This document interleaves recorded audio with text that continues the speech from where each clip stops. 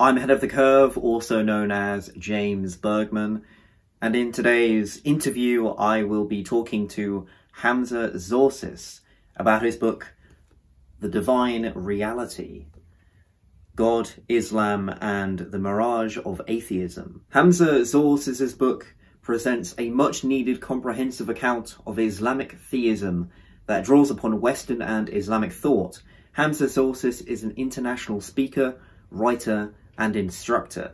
He has a PG cert and an MA in philosophy and is currently continuing his postgraduate studies in the field. Hamza has studied Islamic thought and theology under qualified scholars.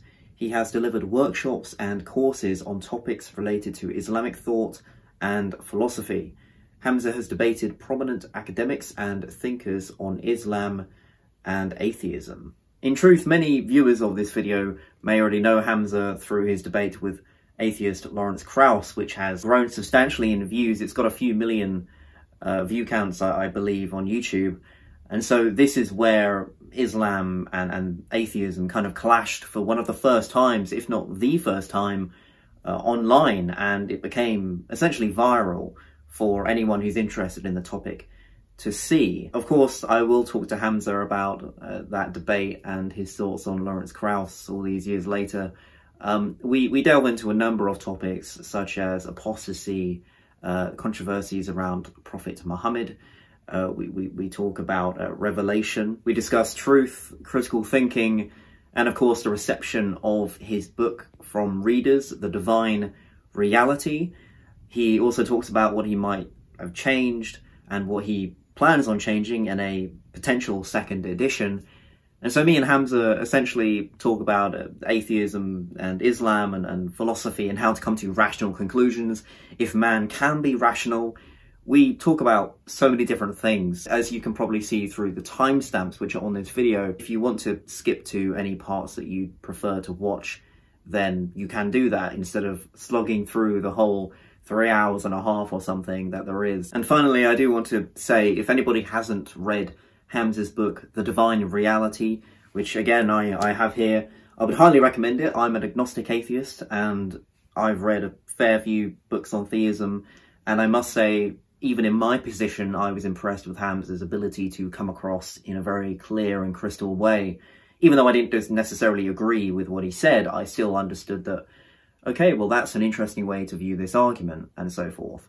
So regardless of whether you happen to be a Muslim watching this, or, or a Jew, or a Christian, or an atheist, I would recommend this book because it is one of the better books, if not one of my favourites now, on the subject of Islam, philosophy, and and God uh, in general. And I would even say critical thinking and truth, just to add a couple caveats to that. Hamza really does uh, stretch quite far and I believe he does this excellently. Leave any comments on the topics that we discuss, and if there's anything that you disagree with Hamza or, or me for that matter, then please let me know. Um, and also, subscribe if you want to see more content on uh, philosophy, religion, literature. I, I, do this in the form of interviews like these, and book reviews, and uh, clips, and I am going to branch out my content to make it more uh, philosophy than literature, um, or maybe just a balance but there is more to come on this uh, on these topics. So please uh, stick with me subscribe if you want more of this kind of stuff uh, if you want more interviews like this. Uh, and finally just remember to, to, to like and share um, youtube. You know how it is with the algorithm. Um, liking really helps me out really helps out the channel. So please please uh, leave a like if you if you're enjoying it of course. It's a very dense conversation at times but i think that the timestamps available will make things slightly easier. Enjoy the video, let me know what you think, leave a like, subscribe if you want more from me. Let's get into the discussion. Hamza, great to have you on the podcast. Thank you for having me, James. Thank you very much. It's a pleasure. I, I, I must say, your book, The Divine Reality, I I, I, I loved it. Um, I, I've read a number of books on theology um, and you know from, from atheists and, and, and theists. Um, not many on islam though which i want to try and improve on. Um, but I, I, I would categorically say I'm not, I'm not just saying this because i'm talking to you right now but, but i was thoroughly impressed with with how you wrote this, um, and with how critical and philosophical uh, you, you are in the piece. I uh, it's it's not like other you know books that I was reading weren't necessarily like that, but I feel like the way that you put the ideas across, and not only that as well, but the the fact that and now this is really something that I was I was like this is great. I, I love the fact that you uh, uh most of the time throughout the book you posit what your interpretation is or what your thoughts are. You don't only do that you then say, oh, what are the counter arguments to that? And you go through what the atheist could possibly say back. Um, and, you know, even the Christian, let's say, if, if it is to do with um, some sort of um, conflict there between, between the theisms. And so I found that to be very unique. And, uh, and, and also, the thing is, it can go very wrong because what you can do is straw man. You, you, you can make up this kind of, you know, false false um, argument that the atheist or the typical atheist, let's say, wouldn't necessarily say, or it's been misconstrued, but you didn't, and I I was just like that is great, and it just really helped me kind of be like, oh, so you've already cleared that up. Um, okay, so what else do I have an issue with, or in your, let's say, in your response to that argument, it kind of moves things along forward in a really healthy way. So I I mean, that's just one thing that I that I really loved about the piece, just how critical you are in it. Um, and I I also not to go on a tangent, but I also again, it's just how you how critical it is, and also um, the, the, the format, and and I also like how at the end, and you didn't try, and you didn't do this at the beginning, because if you introduced Islam at the, at the very beginning, if you try to introduce Muhammad at the beginning, then maybe you know people might feel uh, a bit more distance because they are with their presuppositions, um, and they might want to give up there and then. But I think it was a really good idea that you actually put it at the at the at the end because kind of how it worked for me was, and I think this is probably what you were trying to do. It was like, okay, well, if you agree with up to here, um, if you if you're on board, then okay, well here is the next step. It, it is quite literally Islam and introducing uh, Muhammad um, and and and sort of his life, and that was just really cool. I, I enjoyed that. Um, so yeah, hopefully it wasn't too much of a tangent. I just wanted to genuinely say how much I enjoyed this piece and how honestly impressed I was. And this is at the moment my favorite book um, on on the philosophy of religion. It, it, it's just it's just really really good. Um, so I just want to say congratulations for for writing it, I guess, and and thanks for putting your your your word out there in written form. I, it's it's great. Yeah. Um. Well, I, I don't know how to respond. That's probably one of the most. Uh, I'm speechless. Thank you very much for that introduction. I mean, look, at the end of the day, I think it was Ernest Hemingway that he said that you know writing is easy. You just go to your typewriter and you bleed. yeah. and sure. another another friend of mine, he described writing. I think it. I think he described it in this way, which was, it, you know, writing is fine. It's like walking on the streets uh, naked, right? Because you expose yourself. So if you combine those two statements together, it's uh, it's like walking in public and bleeding at the same time. And that is probably one of the best ways to describe writing nonfiction. Hmm. Because there's things that I had to not include, things that I felt maybe should be included. Is it the is it the final product? No, because with all nonfiction, you're gonna have a second edition, a third edition, and it's gonna continue as someone grows and develops. But the reason I want to start off like this is to say that that book is basically a product of many mistakes. I made many mistakes. So when I started in the field of trying to articulate Islam, as you can see in the preface, when I talk about, you know, in the beginning, I was just almost mirroring Christian philosophers and theologians. And then I just found my own space and I started accessing the Islamic tradition in a more serious way. And, you know, the whole book really was as a result of me delivering certain courses on the topic and many of the chapters were literally a cut and paste of my slides and then i would just basically write it in prose and start to think about it And, you know, I'm not a great writer. And it takes time to write an essay or a chapter or a book that is structured well, that deals with objections and contentions. But even in saying that, you know, it took me around three years and a good part of nine months within those three years, it was because I broke my smartphone. I was in the gym and a heavy dumbbell just hit the phone. And I was like, this is a good sign. And for, from what I remember, I didn't have a smartphone for nine months. I didn't even have a phone. I mean, I had maybe a very, very basic phone for family that you could hardly do anything with it, and I wouldn't use it all the time. So I was really in, no one could access me from that perspective. I was just focused on the book. Um, and yeah, so it was, it, it, it was, it was, it was a tough time writing it. When I first published it, I was like, oh my God, there's so much more I want to add and so much more I want to improve. And there's so many things that I want to maybe unpack. And maybe, you know, I had my own assumptions, but I didn't really spell them out or articulate, articulate them properly in the book itself. And for me, I like one of my weaknesses as a personality is I really hate being misunderstood. Is like if you mm-hmm. want to basically trigger me or I feel internally upset or some form of anguish, you just basically misunderstand me. I hate being misunderstood for some reason. I need to unpack why. There's probably many reasons why, but you know, and the book itself is my ideas or ideas that I believe to be true. And you know, sometimes when I get a question from someone and they say, Oh, what do you mean by that word? I'm like, man, I should have explained that word properly, another two sentences at least, so they really know what's going on.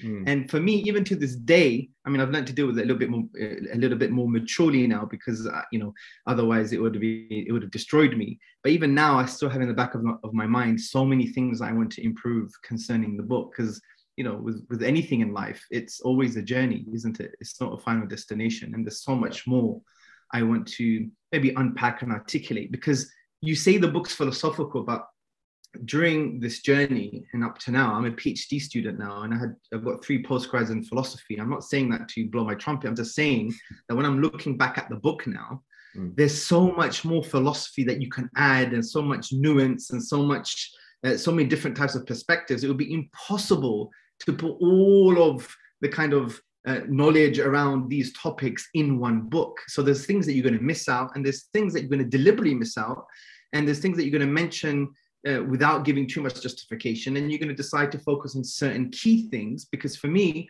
I wanted the book to be conceptual. I didn't want to, the book to be okay. You know, this is going to be a reference point from the point of view that this is all I need. No, this book is part of someone's journey but the conceptual framework, if you like, of all the arguments is there. Like I believe I could defend those, the conceptual framework of each chapter in any court of law, you know, legal, philosophical, whatever the case may be, social, Twitter space, whatever you want. Hopefully, I, I believe that I could defend the outline of the argument. And that's why I want, wanted people to internalize the, the underlying basic conceptual framework of each chapter. And that's why it's very concept driven even though yes i may use some evidences here and there whether philosophical rational deductive or inductive but the point is even if you remove some of that to the side the conceptual framework in my view of each chapter is intuitive makes sense to someone who has sound reasoning and it satisfies the human heart. That was the kind of main approach.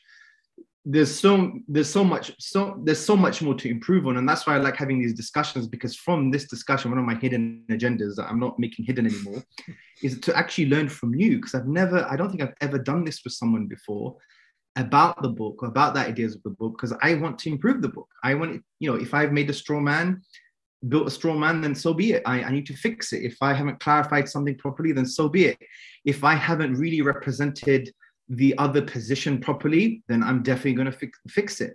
I, I mean, the, the, the, version you're reading is the newly revised edition. Yeah. There was an older first edition that wasn't that was still good, but there were some aspects to it that needed some kind of clarification.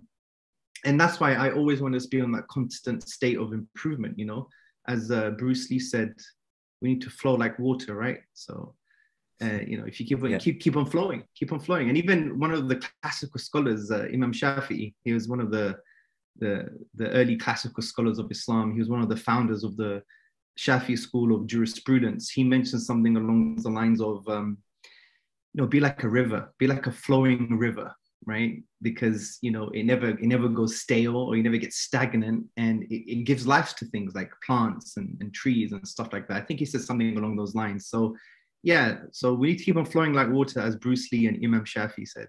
well, well I, am familiar with Bruce Lee at least, and I, I can admit that yeah, he's he's a great guy to quote from. I mean, an inspiration for for, for anyone you know who's familiar.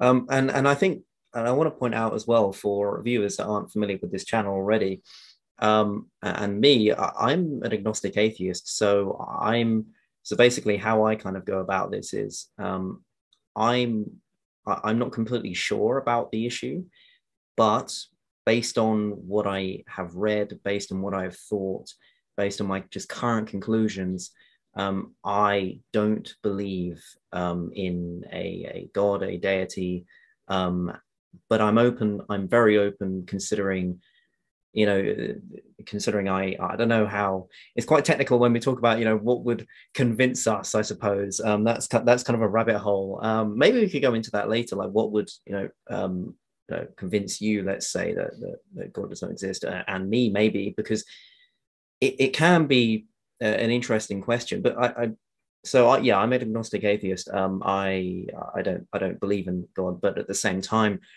I also want to add a, add a caveat to what I said about the book, which is, you know, I, I love I love everything that I said about it. Um, that doesn't mean I agreed w- with all mm. of it. Um, if, if, not uh, most of it, I guess by definition I, I didn't agree with. But I think the thing that's important here is understanding how well a book is written. And when I was reading it, for example, I was like, okay, look, I'm I'm not.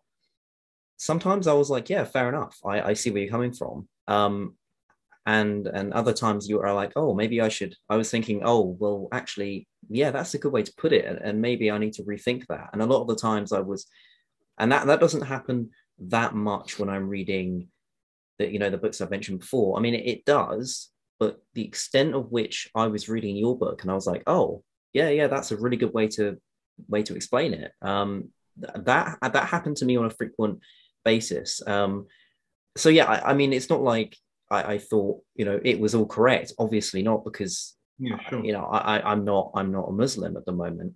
Um, but I think, and this is what I think not a lot of people understand, which is you can listen to an opposing view and you can still admit that it was argued well you can still admit that there are things to learn that you didn't know about beforehand. So, and in that sense, that you know that, that is kind of my my my um my, my opinion on the book, which is yeah, it was just well written, and even though I wasn't convinced, I, I didn't jump ship. I I, I still recognize that I, it it was just it was just good enough that I was rethinking things. Um, and in terms of I mean, re- revising the book further, to be honest with you, I, yeah, I mean, maybe if I was to think more on Muhammad, maybe um, more on um, criticisms of Muhammad as a character, and I, and I want to get into that a bit later, um, because you know there are some popular sort of criticisms that are kind of like you know news headline quite quite uh, bland in in their proposition. Um, so so yeah, there, there are there are things like that that I want to get into. Um, starting off with a question which which is pretty pretty basic one, but I I just wanted to understand your story a bit more. Um, I also want to just mention as well that I really enjoyed the the introduction to the book. Um, it was very personal. It, it just felt know, a very comfortable way to start it for any, you know, agnostics, atheists, theists alike. Um, so I wanted to ask you, how did you come to the conclusion that Islam is the true religion and Christianity and Judaism are not? What to you makes Islam distinct? Mm, that's a very, very good question. So obviously my answers are not going to be the answers that I would that I would express 20 years ago at the time of my conversion. So even to make a claim that I'm going to give you the answer Hamza 20 years ago when he first converted is going to be totally very difficult to do because I'm a different human being now. Like we have many selves, you know, many personalities, if you yeah. like, along the journey. Like my dad says,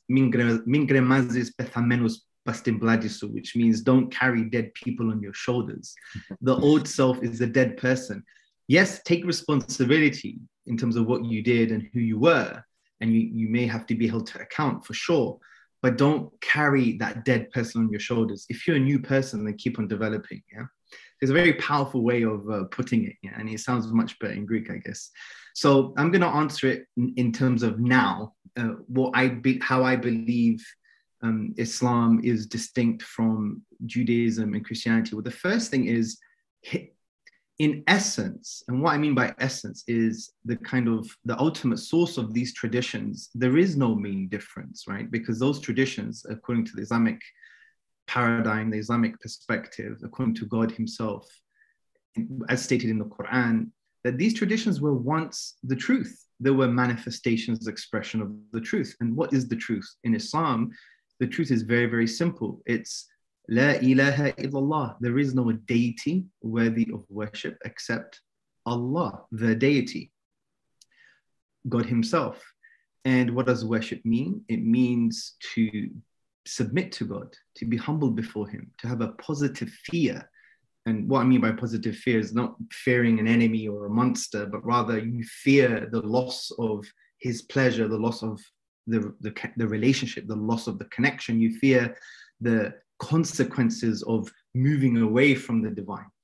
And it means to know God, to love Him, to obey Him, as I, as I just mentioned, and to direct and single out all acts of worship to God alone. The internal acts of worship, like love, our utmost love should be for the divine, for God alone. We must rely upon Him. And the, and we must have gratitude, utmost gratitude, and we must extensively praise Him. These are aspects of internal acts of worship, and the external acts of worship, like prayer and giving charity and smiling and being good to people. This should be done for His sake alone.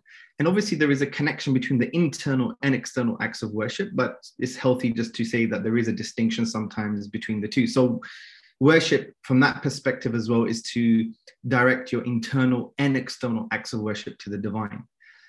Now, that was the message of all the prophets according to the Quranic and the Islamic paradigm, that all the prophets came with that message La ilaha illallah. There is no deity worthy of worship except the deity, because the name Allah, according to some Arabic linguists, literally means Al Ilah, the deity.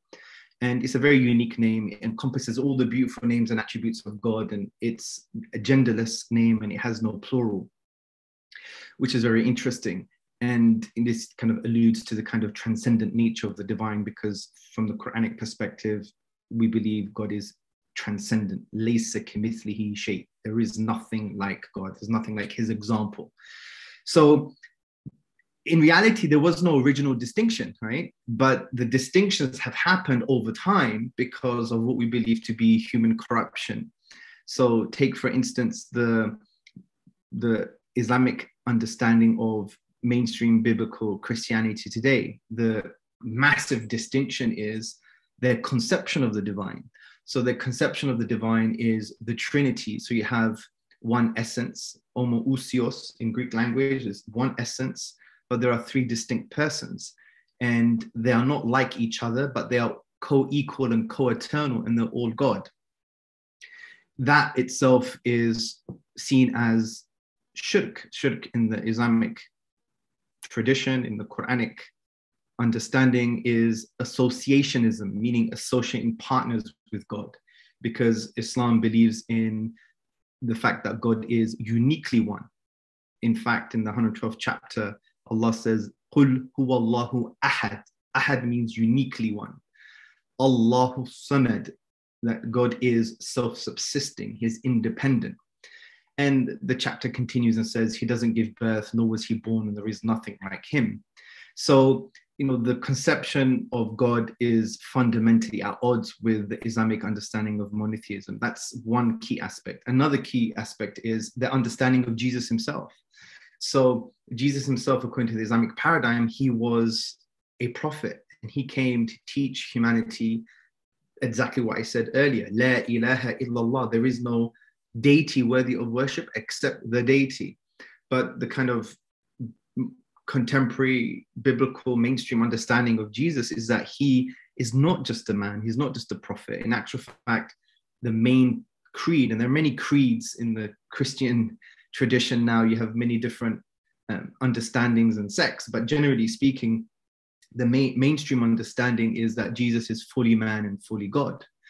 And there's an interesting problem here, especially from a kind of logical and theological perspective, because the Trinity is the Son, the Father, and the Holy Spirit. And they're all God and they're all co-equal, co-eternal, and they're all different.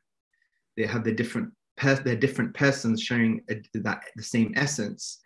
And the Son came into the womb of Mary, according to the biblical understanding or interpretation of the biblical understanding, and he came into into life, into human form, and he remained as fully God and fully man.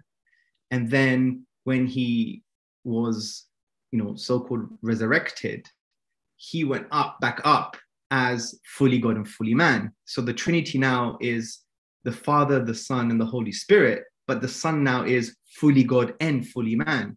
So what you see, you see a, a change in the essence or in the conception of the divine. Prior to the incarnation, you have the, the Jesus, the Son, you have the Father, the Son, and the Holy Spirit, co-equal, co-eternal, same essence, and the distinct persons. And then the Son comes into the womb of Mary, comes into human flesh as Jesus, now as fully man, fully God. But prior to the incarnation, he wasn't fully man.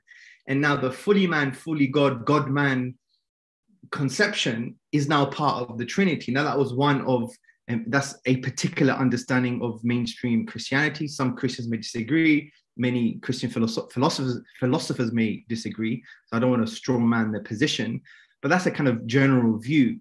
And for us, that would be quite problematic because now there is a change in the essence of the divine. And if you change the essence of something, you've literally changed that thing.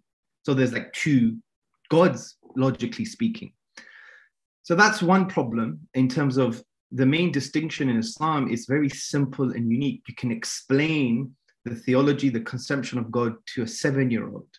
You say, God is one, He is unlike anything you can imagine. He created us, is the most merciful. He created and owns everything. He's the master, the maintainer, the shaper, the fashioner, the source of everything. Everything depends upon Him. He has beautiful names and attributes such as Ar Rahman, the intensely merciful, Al Wadud, the loving, Al Hakim, the wise, Al Alim, the knowing, and so on and so forth. And he is worthy of our adoration, of our love. You know, he is the source of love, right? He is the greatest benefactor. You know, naturally, human beings love those who give them benefits, even if it's a gift. We even love benefactors, even if those benefactors don't directly benefit us anyway. If you hear a story about someone really amazing, you have an affinity to them, you have a natural inclination and love towards that person. And God in our tradition is the greatest benefactor, He's Al-Bar. He's the source of all goodness. He's the, the, the, the, greatest benefactor. So he's worthy of our adoration. He is, and there's many reasons why he's worthy of adoration, of course. That's just one small, uh, you know, small reason. And he's worthy of extensive praise, extensive and, and ultimate gratitude. And the reason he's worthy of extensive praise, and I mean, we see this for ourselves. I mean, when I was looking at you, sorry for even trying to create a similarity. I hope you take this as a compliment. You reminded me of David Beckham, right? uh, a more, a more, a more handsome version, of course. Yeah. Oh. So yeah. So you know, you know, and you know, David Beckham was an amazing guy at free kicks, right? I don't know if you like soccer or football, but you know, his free kicks were just phenomenal. He had mastered the art of kicking a ball and placing it almost like laser-like accuracy. And you, you and you are. Oh, I remember when I was a kid and even a young adult and watching him, I was like, wow, this is like phenomenal. And many of the fans who supported England, like you know, I do, when he used to play for England and take the free kicks and so on and so forth. And he'll do some amazing, uh, amazing uh, shots or amazing goals or amazing free kicks and passes, pinpoint accuracy, laser like precision. You're like, how do you react? You're like, you're com- something is compelled within you to say bravo. To give him a standing ovation, or you know, depending what your context is, you'd be like, wow, that was wicked, man, or whatever you're gonna say. Yeah, you're gonna praise him by virtue of his attributes. And in this case, his attributes are, you know, he's great at kicking a ball. Not only do we do this with football players, but we do this with, for example, if you like MMA, mixed martial arts. When you see Khabib, for example, he got McGregor to tap, right?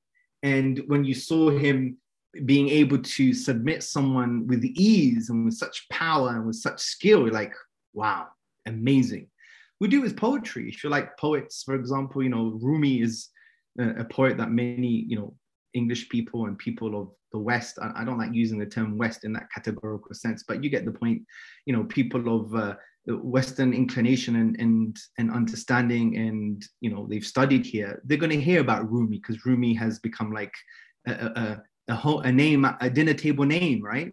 So Rumi, for example, he talks about love and he says something along the lines of, you know, lovers don't really fall in love. They were already in love before they met, you know, which I think is really powerful because when you have children, or even when you have a partner, you realize if you love them, sometimes you're like, you've always been part of me, right?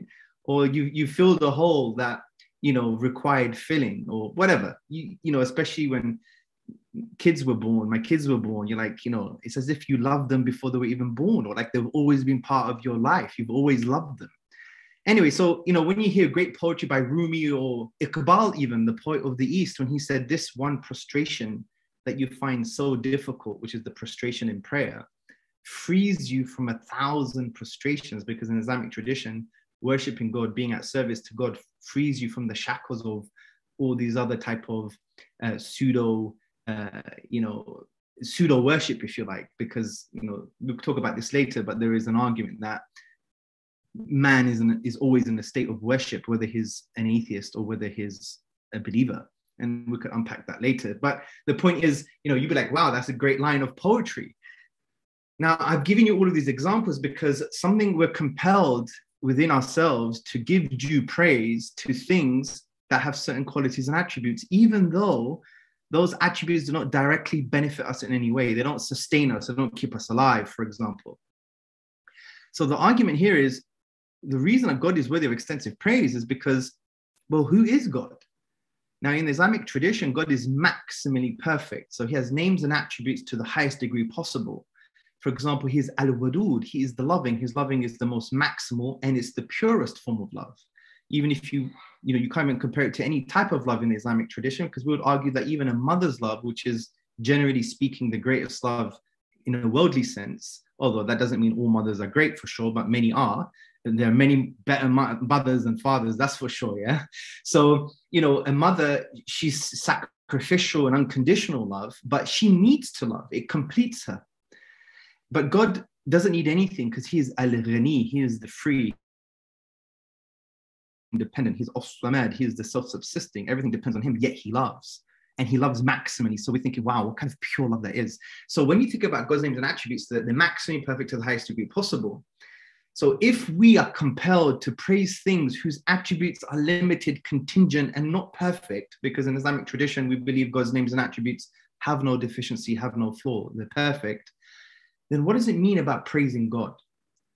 And that's why God deserves extensive praise. And extensive praise, praise itself is a form of worship in the Islamic tradition, because in the first chapter of the Quran, which is called Surah Al Fatiha, the opening, God says, Alhamdulillahi Rabbil Alameen. All perfect praise and gratitude belong to the Lord of everything that exists. So praise and gratitude are very closely connected to our understanding how we should relate to the divine. And in this case, you know, these, these are acts of worship. They're internal acts of worship for sure. And they could be external by virtue of expressing that praise. So they're connected. But the thing is, extensively praising God, we believe is a rational thing to do because if we're compelled to, to praise imperfect things with you know and they're limited and contingent and they don't directly benefit us benefit, benefit us in any way then what does it mean about praising god himself and that's why sometimes when we think about a great scientist you know a muslim would praise the scientist say he's an amazing scientist scientist whoever he is he's done great work you know we we we we give praise in terms of you know credit where it's due right but for the muslim they have a different metaphysical lens they're thinking but God deserves extensive praise and gratitude because who enabled that person to be in that way? You know, we could praise the great mind of a scientist. What about the one who created that mind? We could be, you know, in awe with regards to natural phenomena, but what about the one who put that in place? We could be, you know, in awe about, you know, we were talking about animals and, and veganism a little bit just before we came, uh, we started recording. You know, some animals you know god tells us to to to observe animals and they live in communities just like you and god gives us these signs so we could learn about ourselves for example penguins are greater fathers than me he's a greater father than me I, I, I don't think i could ever hold an egg for six months on my legs in the freezing cold i mean i could try and do it but do i have the ability do i have the patience i don't know and when you see a penguin doing that you're like hats off man right? You learn a lot from animals, right? But who created that compassion in that animal? Who created that animal in the first place? Who created the asbab, as we say in Arabic, the physical causes in the universe to enable these things to happen? You know, there is a there is a greater reality that deserves extensive praise and ultimate gratitude. Now, what, now just to end this, why um, ultimate gratitude? Because if you think about the most basic things that we take for granted that are extremely priceless, if we focus on them and reflect on them properly, then it should invoke some kind of immense gratitude, even if you don't believe in the divine. For example, James, let me ask you a question. If I said to you, you had, okay, let's do it this way. Let's just, let's do a few things. Imagine I give you 10 million pounds right now, no strings attached. How would you react? Be honest, be honest. no strings attached. It's yours. You could do whatever you want with it. And if you lose that 10 million, I'll give you another 10 million. No strings attached. I mean, literally, imagine I just did right. that. What would you do? Um, be in shock, perhaps faint. Uh, um, but but I but I would be but I but I would be you know after that initial psychological reaction, I would be like kind of like oh well, this person just you know just just did this for me, and it would be it would be unreal in the sense of like you say gratitude. It would be it, it would be this immense sense of um, thankfulness or whatever way you want to put it. Yeah. Would you be Would you be overjoyed, happy? Yes, well, immensely. Yeah. Okay, good. Sure. Now let's just slightly change the thought experiment. Sure. Imagine I gave you 10 million pounds, no strings attached, but because of some kind of metaphysical cause and effect, for you to have that 10 million pounds, tomorrow morning, you cannot wake up would you take the 10 million pounds? So what? I, I, I can't wake up. You You're dead, basically. Right. You die in the morning. Well, well, yeah. I mean, I obviously it wouldn't it would be a good deal, would it? Um, I wouldn't be there to use it. I, well, unless I would, unless I, I, unless I suppose. I mean, I guess you could wriggle out of it and say, "Oh, I'll just give it to my family." But obviously, immediately it would be like, "Well, no," because I, it, it, it loses so, its immediate value of course. So, from that perspective, therefore, we should be waking up with the joy of having receiving more than 10 million pounds, right? Because we've just done a juxtaposition. We said, well, if I give you 10 million pounds, you'd be overjoyed. Great.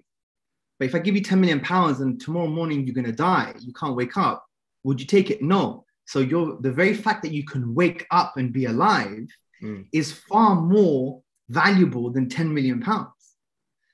So life itself is extremely, extremely priceless. And we don't own it. We can't even create a fly. We don't necessarily deserve it. And from that perspective, when a Muslim talks about gratitude, we're not just saying be grateful for your wife, your car, your kids, your health. We're saying the very fact that you're alive, you're given a free, priceless gift, which is every conscious moment that you don't necessarily deserve, own, right? You don't own or, or deserve, and and you've done nothing to to to receive such a priceless gift. So if that's the case, then surely we should be in a state of gratitude. Now, this go this is a universal concept. You don't even have to believe in God at this stage, but at least we, we open the space or we open the door to enter the space of you know what I need to start thinking a little bit more deeply about what I should be grateful for because we take these things for granted. And these type of thought experiments help us to be in that deep state of gratitude. So obviously for the Muslims, we're like, well, God created us. He is Al-Khaliq. He is the creator. He is Al-Khalaq. He is the perpetually creating. And therefore he created my life in every conscious moment. So I have to be ultimately grateful to him. Why? because I receive a free gift that is priceless at every moment of my existence, uh, at every moment of my of my existence that I don't necessarily earn, own, or deserve. So that's why we should be ultimately grateful to the divine. Another similar thought experiment, I've mentioned this in the book, is about the heartbeat. You know, if you had, if I said to you, "You've got 10 heartbeats left, but in order to have another 10,000 heartbeats, you have to give me all of your wealth. I mean, most people, and I've done this many times with people, say, Yeah, I'll give you all of my wealth. So I say to them, Well, this is interesting because God says in the Quran, you cannot enumerate his blessings, meaning you can't count individually his blessings. And the heartbeat is only one blessing. It's like the physical, biological cause that keeps you alive, alive the heartbeat. Now, can we enumerate individually all the heart lifetime? Well, it's actually practically impossible. For the first two or three years, you don't have you have a backlog, right? because you don't know how to count. When you're sleeping, you're definitely not counting. Yeah. When you're eating, it's a bit difficult. So the point is, you will never be able to enumerate every single heartbeat. Now, change it slightly. Say thank you every time you have a heartbeat or every time you've had a heartbeat. It's too much. It's, it's going to be a lifetime of thank yous, right? And it'll be perpetual almost. So, from that perspective, you will never be able to be truly grateful. And yes, lots of suffering happens in the world, lots of bad things happen in the world for sure. And there's there's other ways of dealing with that because for blessings you deal with them in, with gratitude, and in the Islamic tradition, with calamities or tests, you deal with it with patience, and you deal with it with you deal with it in a way that God wants you to deal with it because He wants you to give the meaning that He's given this calamity, not the meaning you've given the calamity, which we believe helps us transcend these obstacles in life. But yeah, life is full of pain for sure. But I just wanted to make the point here that this is why ultimate gratitude belongs to God. And this is the most basic. This we're not, I'm not even talking about the very fact that we can speak to each other through a computer, the very fact that we have a stream of consciousness, or we uh, we have the ability to have rational insights, or we have the ability to love. I'm saying the potential to exist. Right? Mm. We don't earn, own, or deserve, and it's freely given to us, and we know it's priceless just by virtue of these thought experiments. So when we say God is worthy of worship, essentially because praise extensive praise and gratitude are keys to other to other types of worship so we say yeah god is uh, worthy of worship so the dis- sorry for the long answer you have to learn to interrupt me yeah? just to summarize the, the main distinction is in the theology with the christian tradition the trinity and the understanding of jesus right. And, also the conception of monotheism and the most important thing for, for the muslim is the kind of perennial truth, which is La ilaha illallah, there is no deity or object of worship worthy of worship except the, the deity, Allah. And you know, that includes being submissive and humble and loving God and trying to know him and recognize him and directing the internal and external acts of worship to God alone. So that's right. the main kind of distinction between Islam and Christianity. And yes, there is also a distinction with the Jewish tradition, but maybe we could unpack that a bit later. I've, i think I've overkilled this answer, to be honest. No, well, you know, I, I, think I think you gave it a thorough answer, which is what I've been used to in your book. Um, so you know, I, I appreciate that. Um, the the gratitude point I think was important for you to make because it's I, I feel like something that isn't really brought up that much. Um, it, it's kind of because it isn't a philosophical argument, right? Because it isn't something that would you know the the atheist necessarily would be swayed by in any sense. But but it's very basic in the sense that it it is as you say vital to to to islam. Um and and and so i think it's you know worthy of you mentioning it. I mean me as a me as an atheist i find my gratitude in uh, I, I mean i don't know if i can say i like reading holocaust literature or, or war literature but but but i read it almost as if i feel like there's a duty to because mm. um, you know if we don't well that saying goes if we don't understand the past then it will happen again um, in the in the present or in the future but but the way that i find my gratitude is well one of them is is reading that kind of literature and realizing look think of world war ii think of think of the soviet union right and there's uh, I, I can't remember what the, the book was maybe it was the librarian or the, the tattooist of Auschwitz, maybe. Um, but but Leil, I can't remember his second name, Seglov or something like that. Um, he had a quote which was, "If I wake up, today is a good day."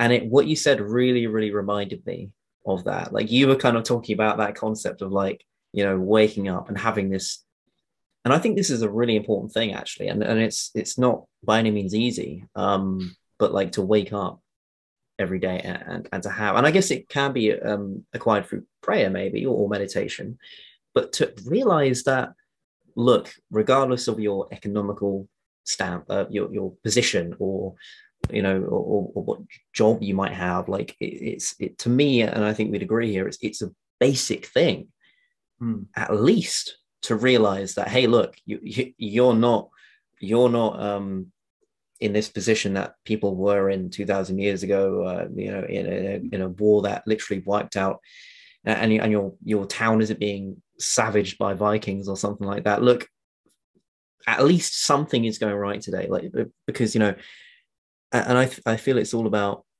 putting things into perspective you know but because you can you can drop your favorite glass right but then you realize hey look it's my favorite glass but i think they do others you know i think you can buy more.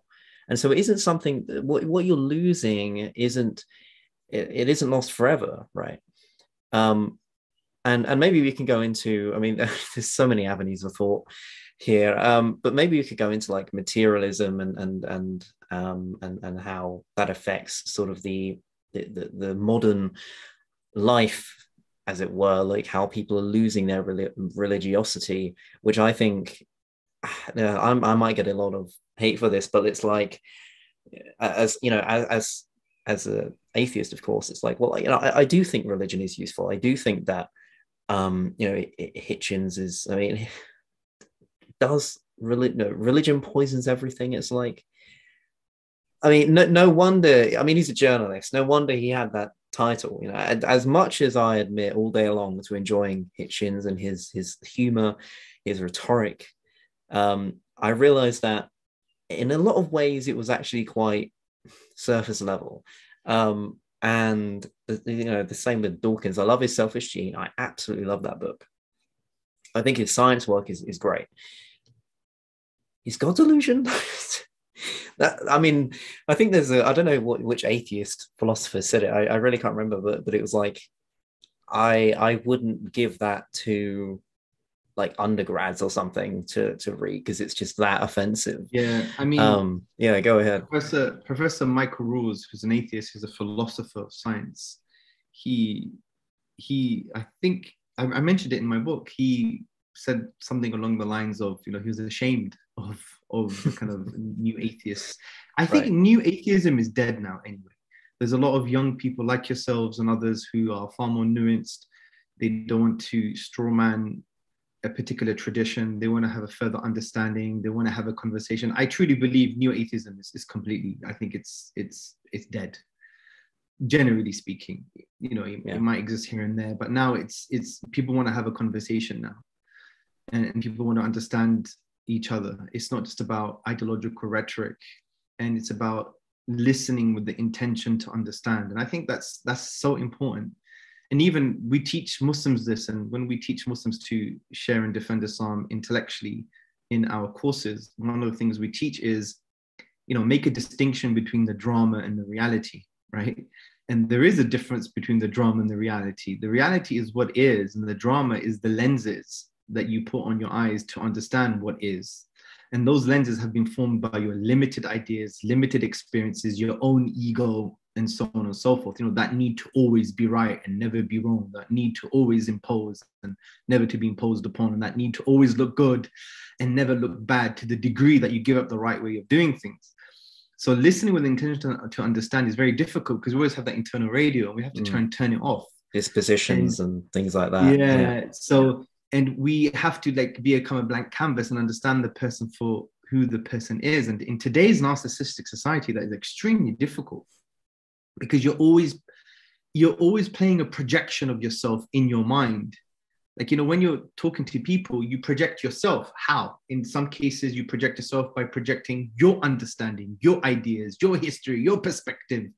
And all you end up doing is relating with yourself or relating with something that is not who that person is and it's very difficult. So imagine, you know, you come to a student table at university and I'm trying to promote Islam. and you introduce yourself as James, I'm the agnostic atheist. Now, if I have a limited understanding of what that means, I'm like, oh yeah, I read a book about atheists and they just love science. And uh, the book I read as well was was Dawkins, and he's very arrogant. So this person loves science and he's very arrogant, right? And therefore, the way you're relating with that person now is going to be as if you're relating to a person who just loves science and is very arrogant. But you would you you would have totally missed out the fact that James, yeah, he loves science, but he wants to talk about values. He wants to talk about philosophy. Yeah, Dawkins may be arrogant, that may be your position, but James, he's a good kid. He's just asking some sincere questions. You you miss that out in the discourse because you projected yourself or your limited your drama or your limited experience understanding, and that's why it's so important. You know, the likes of Hitchens and others teach us in, in a way. They teach us how not to be, and I I was like that for a while for sure. But I think it's very important just to be yes, assertive with your views and your values, but also stand in the possibility that the person you're engaging with, you could learn a lot about yourself and about them and about the ideas that you're articulating. And if you're if you're committed to their well-being from the Islamic perspective, it means loving for others what you love for yourself. You want goodness for them and guidance for them. Then you have to listen with the intention to understand because who are you dealing with? You're dealing with another, the other, and unfortunately, in today's secular neoliberal society, it's you know everyone has to be it's like this monolith and everyone's the same and we don't know how to love anymore. And there's a really good book by the korean born german scholar uh, byung chul han i think his name is. It's called the agony of eros and he's made he's made a phenomenal point about love itself. He says in our narcissistic society we don't know how to love anymore because we don't appreciate the other. There is someone distinct from us. So because we're narcissists collectively, right? We project ourselves on the other and we end up loving ourselves and not loving the other person. And that's why, you know, even if you read the, the, the five love languages, you know, everyone has their own love languages, right? I mean, for me, it's like touch and acts of service and quality time. If you give me gifts, I'm not going to, my love tank is not going to be filled. It's not going to be full. But for someone else, it might be gifts and words of affirmation Mm-hmm. Now, if I'm giving them, if I'm loving them the way I want to be loved, they're not going to feel loved at all. So the art of love is really to love the person the way they want to be loved, not the right. way you want to be loved. And that is right. so difficult. And that requires you to appreciate that an other exists. But because we live sometimes, you know, I know we might be a bit of a collective straw man, but generally speaking, we have this kind of collective narcissism. We project ourselves on the, the object of love and we end up loving ourselves and not loving the person. And he's made a phenomenal point. I don't know how i got to this. How did i get here? Anyway i'm going to go on these tangents. You have to bring me in. You have to bring me in. Well uh, well they all, they all come together. They, they all come yeah. together in some sense. I mean yeah i mean uh, uh, there's there's so much more. I mean I, I feel like this is one of those discussions where a lot of things are just going to be flown about and we're going to get back to certain points. Um yeah, I I mean there is one question, but I also but I I did want to mention the the debate you had with Lawrence Krauss, um, and how, yeah, and and just I, I I've I've seen that so many times, and was that it was definitely one of the first times I I I consciously like consciously watched a debate, and I was like, Krauss, like what are you doing? Like he, he was just being extremely rude dismissive, you were laying out lines of argument, premises, and he would get up and just do a Hitchens, like you know, appeal to emotion, like this is nonsense. It's like I, I saw your face. I was I was actually rewatching it today because it's just it, I, I, really enjoy it, but it's also it's such a great thing to look at and be like, yeah, this is clearly when the atheist didn't look that good. It's like I saw your face when he was like, like you you sat down after doing your great job at you know presenting your arguments which look regardless of whether i agree with them or not mm you presented them very very well and and philosophically professionally. He just gets up on on the podium and he just calls it nonsense. And i saw your face and and, and i think that was the face of like definitely more than half the viewers. Maybe maybe not i don't know because you got a lot, lot of closed-minded uh, i guess yeah. viewers but but i saw your face. It was this face of like why did I come here to discuss this topic? And this guy isn't bothering to go through like the, the different premises that I just made, the, the different um, you know syllogisms and so forth. Why am I here? And and and I don't I don't I mean look okay I just want to make it something clear like I'm being very very um uh I, am kind of hating on atheists at the moment and I'm and I'm sorry to anyone who's listening who who is an atheist as well I, I don't mean to it's more the new atheists I, I want I want to specify that the I have a good story the new though. atheists that is my that's a, where my problem is I have a good story with regards to this so I did get a lot of positive feedback from atheists. They almost disassociated themselves from Krauss. But I think Krauss felt the need to do that because the new atheist movement narrative was we shouldn't give them intellectual space. You know, uh, religious people are like flat earthers. You don't even give them any space. But I think the very fact that we were able to engage in a debate intellectually, whether or not one agrees with the arguments or not, the very fact that you're on the platform the religious person has always has already won with the new atheist because their narrative is you guys are like flat earthers and the minute you can start challenging them on epistemology and certain issues that he didn't even really understand and don't get me wrong if i were to do that debate again I would change a lot of things. In actual fact, it would be great. Maybe we could do another podcast after this in the future, and we just analyze the debate. And I critique myself, and you critique me. That would be a good one, actually. Oh yeah, no, that, that sounds great. Yeah. yeah, yeah, I would love yeah. to do that. I've always wanted to do that, but I just need someone to push me to do it. And you doing it, I feel compelled and out of duty to join you and just like yeah. cuss Hamza eight nine years ago. Yeah, so. yeah. um See, not all people are the same. Like Allah says in the Quran, God says, God says that in chapter three, I think verse 113, people are not the same. So yeah, you may have categories of people like the polytheists, those who are ungrateful, those who reject the truth in the Quranic paradigm. But those are primarily there for you to see if you're one of those people individually and for you to be able to make distinctions between those because making distinctions empowers you in many ways intellectually existentially philosophically emotionally spiritually. You have to be able to make distinctions. Because if you don't know you know what is ingratitude then how do you know how to be grateful and stuff like that? But god clarifies and says people are not the same. And you see from the behavior people are not the same. Like i give an example. I had a debate with professor Ken Gemes he's a nietzschean scholar one of the greatest scholars on nietzsche he was the dean I think he was the Dean of Philosophy at Birkbeck University, University of London. And I had a debate with him in Queen Mary University. And I was like, you know, deductive argument and proofs and stuff like that. And he was responding. And we had a really good discussion. And an interesting story is Mohammed Hijab was a student in the audience at that time. Oh, and I didn't oh, Hijab. I did, I, yeah, I didn't yeah. know him then. And he, yeah. he stood up and he, I think he was trying to challenge Ken Gemes on Nietzsche. And I was like, excuse me, sir, this guy's a scholar of Nietzsche you know, you're just doing your BA, whatever you're doing. You know, I was, I was, I was, I was nice to him as well. I was like, you know, I was trying to give uh, due respect to the professor. Anyway, so uh, that was my first interaction with the, the giant hijab, yeah? yeah. So yeah. what happened was, is uh, after the debate, we had a bit of a discussion. And I think from what I remember, Ken Gemes said, look, you know, I'm not a new atheist. I don't really like that narrative. I'm about values because he's a Nietzschean scholar. He said, look, my main issue is you know, why am I, why have I taken care of my 18 year old disabled son for 18 years? Yeah.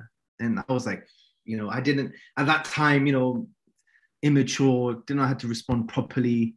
But the way he came to me was, I sensed a lot of genuine, genuineness from him, right?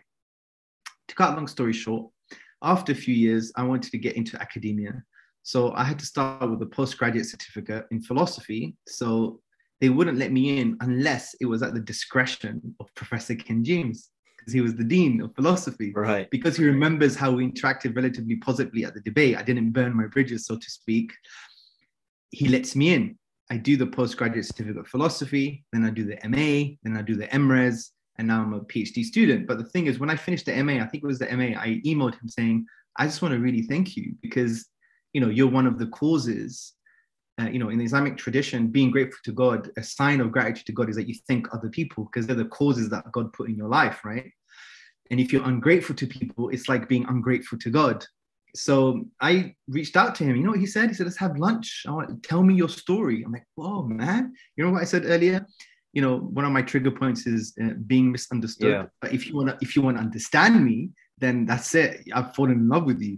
so he's like, tell Right. me your story. Let's have lunch. I'm like, whoa, yeah. So we have lunch, and what does he do? He we order food, and then he says, no, we share from the same plate. He cut it in half. Honestly, I feel like crying. It was like I was like, whoa. And we had a genuine Yeah. discussion about Nietzsche, about morals, about why God is worthy of worship. Like I was able to express Islam, not in like I put a hat on saying I'm going to teach you something, but it was natural, organic through the conversation. So he understood what the Islamic paradigm is. It's about affirming God's oneness and submitting to God and just following all the prophets, the Abrahamic tradition, right? The Abrahamic way, which is to submit to God, to love God, to obey God, to direct your acts of worship to God, to praise Him, to be grateful to Him, to be good, be at service to human beings, stuff like that, you know. And uh, we had a really good discussion. And at the end, when I walked him back to his, I think to his office, he gave me a hug. So I like to say to these stories because it teaches not only Muslims but all human beings that everyone's different. And Mm. the Sunnah, Sunnah means the way of the Prophet. The prophetic way of dealing with individuals is to individualize them. Right. And that's why you see in his history, in his narratives and the authentic traditions, in certain context, maybe depending on age and experience of the person or background, there was a different relation, way of being with that person. Because we believe the Prophet, upon whom be peace, was in the most optimal way of being for that particular person in that particular context. Mhm. And that's why sometimes you can't use that as a universal. You have to really unpack what was going on there. So you have to individualize. And once we individualize the person, the other, as Byung Chan, Chan, Chun, I forgot his name now, but the professor, the Korean born, Korean born professor that I spoke about, if you appreciate that there is an other with their own individuality and history and perspectives, and you know you're not going to just project yourself or your ideas on them, and you, you're going to relate to them in a far more different way and you're going to engage Yeah. with them in a far more different way, in, in a way that's empowering. And, and that's what we need to do, especially in the online world. Look, to be honest, you know how many people ask me sometimes for discussions? And I, sometimes I get a lot, right? Well, relatively speaking, to to, to other in, in contrast to other people. Mhm. Um, I said yes to you because of how your way of being. I'm going to be honest. Yeah, it wasn't framed as a debate it wasn't framed as I'm right, you're wrong. It wasn't framed as I'm here to annihilate you. It wasn't framed like that. It was framed as a conversation. Right. And it was, and just the way you interact with me and you spoke to me, I'm like, this is a decent human being. Let's have a conversation, right? Because usually in the online world, so much ego, right? So much. Uh, we live in an ideological, ideologically hot world where everyone already has their frame of reference, their meta narratives, their ideological arguments, and it's like a battle. That's the that's the that's the kind of default way of being. But I sense a different way of being from you, and that's exactly why uh, I actually feel comfortable enough just to rant on and on in, in on your podcast. Well, I, I. I, I'm very, yeah. I mean, I, I'm surprised. I mean, it was, it took up a lot of courage actually to, to message you, um, because I, I, I mean, I basically said this indirectly, but um, my favorite Muslim representative is you. I, I Hijab is Hijab is really cool. Um, but I must say his his way of debating isn't really my preference. Um, and I was kind of put off by him. But you know what actually made me more sympathetic to um, Hijab was when he talked to Jordan Peterson. He it, it almost felt like he maybe he was on his best behavior, but he felt that you know you know when you were talking about like the the individual um, kind of thing, and and I totally agree because it kind of works in in any situation. Like if you talk to a, a bunch of guys, let's say you know uh, teenage guys, and you know they might be aggressive to you as a as a guy themselves outside of their circle, but actually when you talk to them one to one, I've always found that most of the time they're just really cool and like they, don't Yes, give you that kind of aggression because they're in that that group. And with Hijab it almost felt and i've seen and i've seen you talk to uh, Hijab as well um just some of your conversations and it i do feel like their Hijab has this um debating persona and his true kind of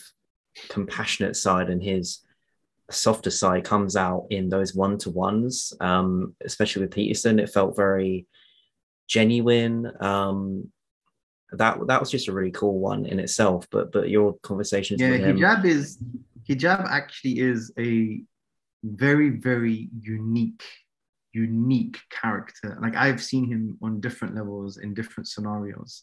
And obviously when it comes to debating and you know if he debates someone who has been aggressive to Islam, he's a very passionate, assertive, confident, strong human hmm. being.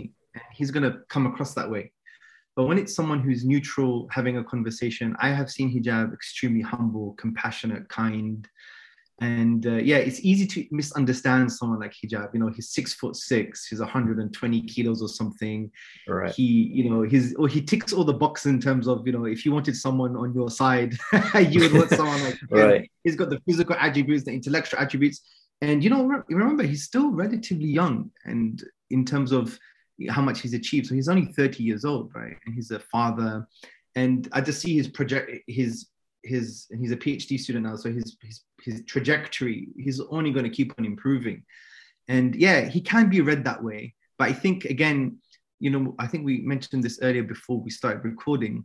When we see people's way of being or their statements, we have to understand who said it, why they said yeah. it, what was the context. Yeah. And usually with Hijab, the context is he he says, look, I have a moral justification because this person has known to hate Muslims, want to be violent against Muslim, or there's been indirect aggression against Muslims. So, for example, his David Wood debate, the way he came right. across, he felt this is actually justified. This person is what he would class as an enemy, and we just have to basically do our best to show that because you know he he could be he could have been responsible, and he has been responsible for a lot of Islamophobia.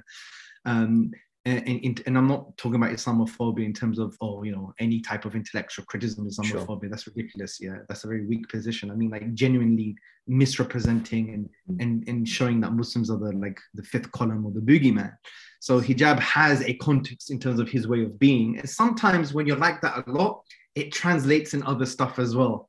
So it's just part of, you know, having good people around you and just developing. But yeah, Hijab, uh, I've seen him extremely. You should have him on on, on one day. I think he, will oh, love it. He's very compassionate and yeah. humble. Uh, well, he's uh, yeah, he's uh, he's he's doing a lot now. Actually, I'm I'm really surprised that you're not talking to um, you know Peterson and uh, and Cosmic Skeptic. Actually, I, I was going to say this for the end, but I, I was going to ask you.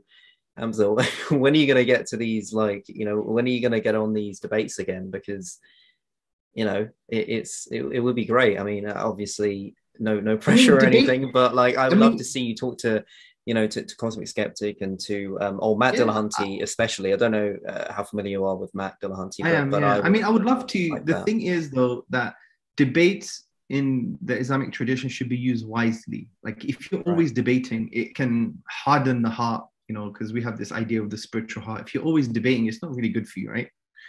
Mm-hmm. Um, and also, it's not the primary way of actually articulating Islam. So God says, call to the way of God, invite to the way, to the sabil, the path of God, with with with beautiful preaching, with hikmah, with wisdom, right? And then he makes a distinction and says, and discuss with them or debate with them in ways that are best. So with no harshness, you know, the ways that are best. Uh, grammatically, that distinction indicates that the primary form of conveying the message of Islam to people is with wisdom and good preaching and being good and excellent and good conduct. The debating strategy is an instrument. You have to use it wisely because if you're always debating, imagine we lived in a society that everyone just debated. And remember, the frame of the debate is the way we frame debates usually in our current society is I'm right, you're wrong. Yeah. And you have two opposing teams. And very rarely do people say, yeah, I've lost that debate. And, you know, there is a whole classical ethic on how to debate, when to debate, who to debate, your way of being, the ethics of debate.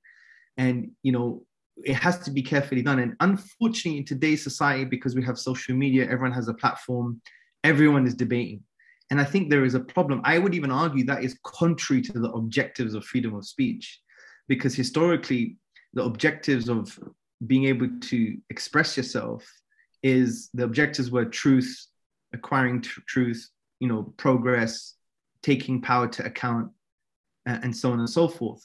But sometimes, if you're always debating in that ego context, in the context of I'm right, you're wrong, and I'm going to try and use Sure. any type of rhetoric to to to win you over well you're going against the actual objectives of freedom of speech which is well i want to know what the truth is i want us Mm. to progress Th- th- And that's, that's why, I kind of like uh, cross the, the cross examination section is what I mostly skip to when I watch debates um, because if I feel like I don't know if you do this as well. I, I don't know if you if you watch debates um, very frequently if, if that's something you enjoy because weirdly enough I do but I, I I like um, skipping to the cross examination section because I feel like you get a feel of their characters more and it's actually like a, a one-on-one conversation rather than like on Mm. a on a podium. I mean the cool thing about your your one with Krau, uh, is it i mean i must say the format was all over the place because of how volatile he was. Um and well I, I guess i guess you both were in fairness because you were both riled up and you were both like you know it, it, it was just like that.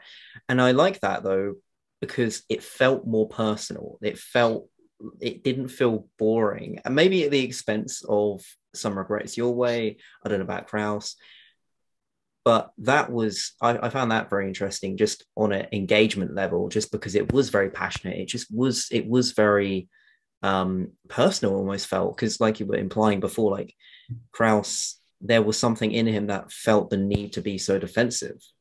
Um yeah I, and and that was that was that's weird i, I guess. Um so I do, I do want to ask you because I, I do- I do have many many questions and, and uh, yeah hopefully hopefully we can get through um, uh, many of them um, because we, you know we're we're we're getting all excited which is great uh, but talking about many different things. We'll just tie them all together as we have been doing. Um, so I do want to ask you about the resurrection and because when I you know when I talk to Christians the the first thing they sort of say is the history is on the side of Christianity. Secular scholars, even like even secular scholars, um, concede that Jesus Christ died on the cross. And for me, I'm finding that very difficult to reconcile when it comes to uh, is Islam because, you know, like I said before we were filming, I like I like philosophy and religion because I don't think it encapsulates merely its discipline. It's politics, it's history, right? It's psychology.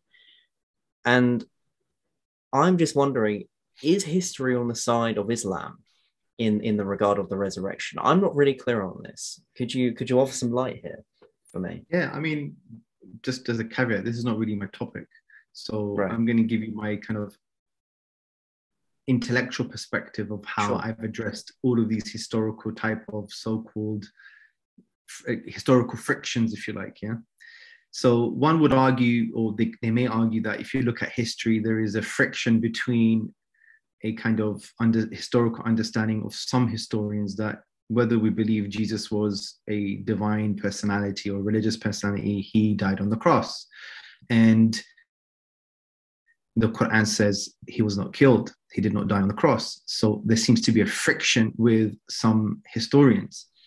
I don't find this a problem at all because for me, it's just all about epistemology. Because when you study the philosophy of history, which many people don't, and that's one of the missing elements in the kind of Dr. William Craig arguments Yeah. with regards to the historicity of you know some of the positions that he believes to be true, is well, let's talk about the philosophy of history, just like what I do with the philosophy of science.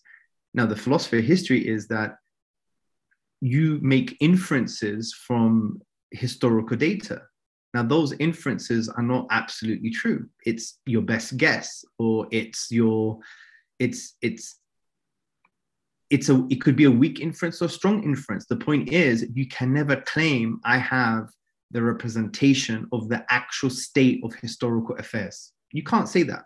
You can't say my conclusion here, based on you know a few pieces of historical data, my conclusion based on an inference is I can never say this is the complete representation of the historical state of affairs. You just can't say that. Just like in the philosophy of science, even if you're a realist, yes, obviously you're going to say a well-confirmed, successful theory that has a lot of that has predictive power represents the actual state of affairs is truth.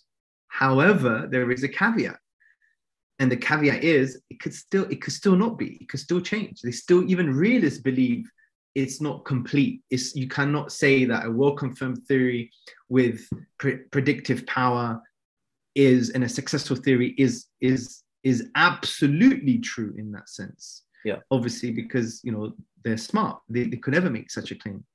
And we know that from history because historically, successful theories that had predictive power ended up being false, right? So history against them from that perspective is also a very, a very simple logical argument to understand. The same thing applies to the philosophy of history.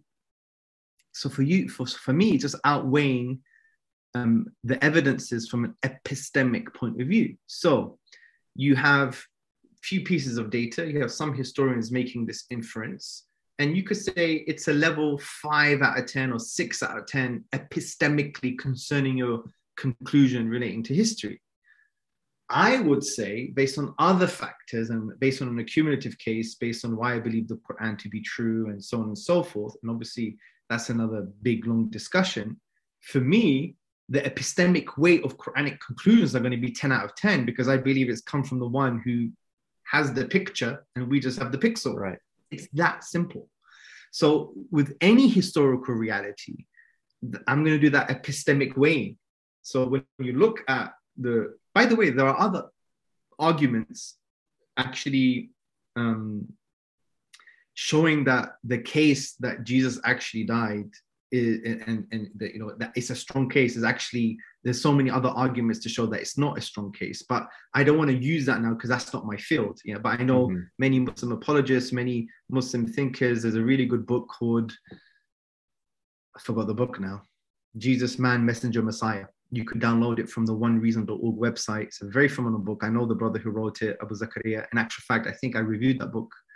Um, and cool he he he actually deals with these with these concepts very well and on his blog he deals with these concepts as well so there are other arguments to challenge it but i want to mm-hmm. give people a very basic points it becomes a conceptual tool so they could uh, they could use that for other things in history that might uh, uh, you know uh, be at odds with a Quranic perspective, for example. And it may be the case because we have a limited understanding of reality. We don't know the full historical picture.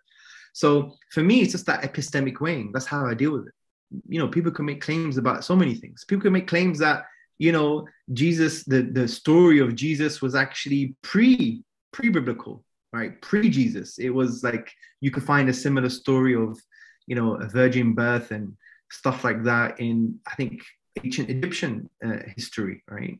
Obviously we have a way of understanding that but the thing is people could claim that that is an evidence for maybe you know uh, you know uh, the, the the that, that the whole Christian story is based on a fiction. It's a borrowed fiction. Maybe they could make that claim, uh, but that's irrelevant. The point I'm trying to say is people can make claims based on any types of data. How do they make those claims? What kind of inference is it? Is it a strong inference? And when you study the philosophy of history, you'll know that with these kind of things, you give it a six out of 10 at best or five out of 10. But if I've got a source of knowledge and the claims that are being made have have, a, have a, an epistemic weight that's heavier. Mm-hmm. In other words, it's a 10 out of 10. Rationally, I'm just going to take what's more certain. Now, the question would raise is, well, how do you know it's a 10 out of 10? Of course, I agree that that's a longer philosophical, theo-philosophical discussion to have. But if I truly believe that book X has come from the divine, and by virtue of it come from the divine, the divine no has the full historical picture. We just have the historical pixel then any kind of inference that we make based on limited historical data epistemically is going to be much, much um, lighter, weaker than the epistemic status of claims made by God Himself.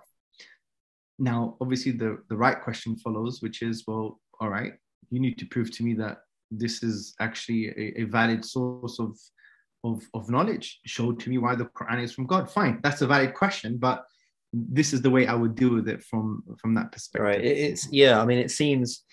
Yeah. I mean, this this isn't your area, as you say. So it seems to me that you that you're kind of relying, or you personally are in this scenario are relying on on your other kind of um, uh, basis or the basis, your basis of of the Quran's validity and truth. Um, that is what you're kind of relying on instead of directly um, kind of countering the historical sort of you know claim. Um, uh, you know you're, using sort of um, other other parts, the authority of the Quran, basically to um, intuit that it's mistaken that actually you know Jesus didn't die. Um, but of course, it isn't your area. But but that I think I, that's that's what you're doing. It's like kind of like kind of taking a step back and being more critical of how we actually come to come to have knowledge about history itself. But i mean I'm, I'm under the impression that because um, you know like you say william lane craig goes on about it um, and i haven't yet heard uh, I, I haven't yet heard to be honest with you i i think there should be far more far more muslim uh, versus Christian and and and even atheist debates out there because there's just so much on Christianity. I mean, all all of the Hitchens' debates that he did for his book were, were all either Jews or um or, yes. or, or, Christians. And and and for me, when I was this is a, oh, we're sidetracking again, but my fault. Um, but but when I'm looking at debates to watch about Islam, there's barely any. Um, there's mm-hmm. there's Hitchens did actually do one with T- Tariq Ramadan, I believe. Yes, Professor um, Tariq Ramadan. Yeah, and but the, the thing is with that is I don't think he had the rhetoric or the or the philosophical background to really show Hitchens um, that you know he, his his blanket statements weren't enough. Um, yeah, he's not a debater. He's not yeah. a, an apologist. I mean, look, yeah. he's an academic. He was sure. at that time an academic from Oxford. So, in fairness to him, it's not his style. It's not his. Yeah. Uh, and as they say, styles make fights. you know, if you're, if you're a boxing fan, or right. you know, if you have particular style, you know, you know, imagine, imagine Anthony Joshua fighting Mike Tyson of the yeah. day. That those that style will be yeah. explosive. It would be a phenomenal fight. So even with intellectual styles make fights. So you, I, I, know it's a maybe a negative negative way of framing the whole thing, but it's actually true. Like the way you come across, your eloquence, the way you can articulate yourself, your presence of mind, your logic, uh, the way you make uh, conclusions. It's all very important in the art of discussing and debating people. And you know, if, if you're a nuanced academic, you know, he does speak very well for sure, but he's I don't think he's a debater. So mm. in fairness to that, but in, in just to respond to your point about the history stuff, yeah, even if I knew the full nuanced academic stuff saying the historicity of the claim, I would still use this approach. Right because remember, the friction is history with the Quran. Now, if I go into history to debate the historical point and actually show that actually your historical inference is weaker because there's other historical evidence you've missed out, what I'm doing though is I'm giving giving I'm giving the impression to the listener or to the one who wants to understand this properly that you know the historical evidences are always going to be the thing that give you the final conclusion. And that's not the case because even epistemologically that's not the case. So it's important to take the step back and understand well what is the philosophy of history? How do we make inferences from limited historical data? It's never 100% conclusion. It's never 100% true. So what i want to do is i want to bring them back to, to show them well irrespective of the way you viewed history, I have I have a source of knowledge here that I can show in my own way that it's a representation of the actual state of affairs. It when it makes a claim about history, it's true because of X, Y, and Z, mm-hmm. and it has a higher epistemic value, higher epistemic weight. Um, so I would still use the same approach because I think it's more empowering and it gets people to understand the mind of the Muslim or the mind of why someone's accepting this to it's, be true. It's a deeper, it's a deeper, to me, it feels like a deeper uh, avenue uh, because there's one thing like you kind of say of looking at sort of evidence, historical evidence, to coming to a conclusion based on what what's being asserted. But then there's the next thing of like, well, how, what's the details behind that conclusion that you've just read? Um yes. the, the, the the context basically. And context is just really difficult. I mean when reading the quran i just found it very confusing. Um t- to be completely honest i was very confused um because um and, and uh, yeah i mean you can you can give me your thoughts on this if you want but when i was reading it i was like okay well on this part believers should be in other words kind of respected and and and um and kind of um uh, talk to and maybe try to um, convert them in there's probably a better word to say that but basically get them on your side. And then and then another part of it says that they are, you know, the, the, the worst of the worst, that they'll that burn in hell in certain specific ways. That for me was really confusing because I was like, I was like, why why is it so mixed up? And yeah, sure, context, and that's that's the key word here. Like what what is the context of when this was said and who was it said for at the time? Like what war was this near and historically speaking?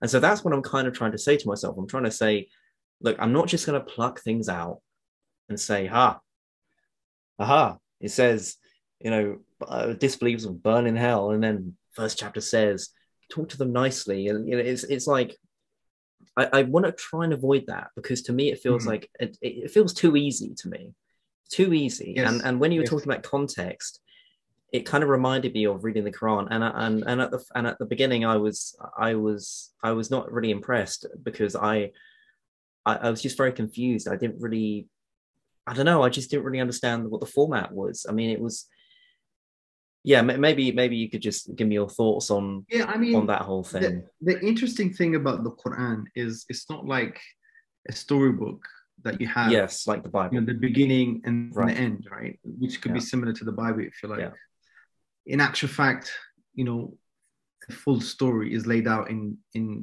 in Surah Yusuf, chapter 12 of the Quran. We have a kind of full story. But generally speaking, the rest of the Quran is is I, I call it multi-dimensional, like the Orientalist Arberry, AJ Arberry, who translated the Quran actually, he he kind of argued that you know, the Quran has no beginning and no end because it's come from the one who has no beginning and no end, right? and it comes from the timeless. So the way you approach nice. the Quran, yeah. yeah. the way you approach the Quran is in that way. And for me, the Quran requires study. The yes. Quran indicates this very strongly. The Quran says, do they not reflect upon the Quran or are there locks on their hearts? So you could mirror the meaning here. The more reflection you do, the more your heart becomes unlocked to receive God's guidance and mercy. You know, if we take lots of time to analyze poetry and analyze Shakespeare and analyze all of these ancient texts, then, you know, the same kind of justice should be given to the Quranic discourse, especially given the fact that, you know, over, you know, nearly 2 billion people believe in this book and it's had an immense impact on the world. You know, whether we like it or not, there, there has been an impact and from that perspective, you know, we should give it, we have an epistemic duty, a duty of knowledge to give it the same kind of, you know, justice, if you like, like we give any other text at school, Shakespeare, whatever the case may be. And I'm saying this from a kind of, you know, secular perspective. We should give it that kind of justice. And that requires allowing the Quran to speak for itself, which requires study. Mm. So the Quran makes it very clear that there are verses that are ambiguous and unambiguous, right? And the unam- unambiguous verses are the foundation of the book. And the ambiguous verses you know those with the sickness in the heart they want to try and have a you know dodgy interpretation.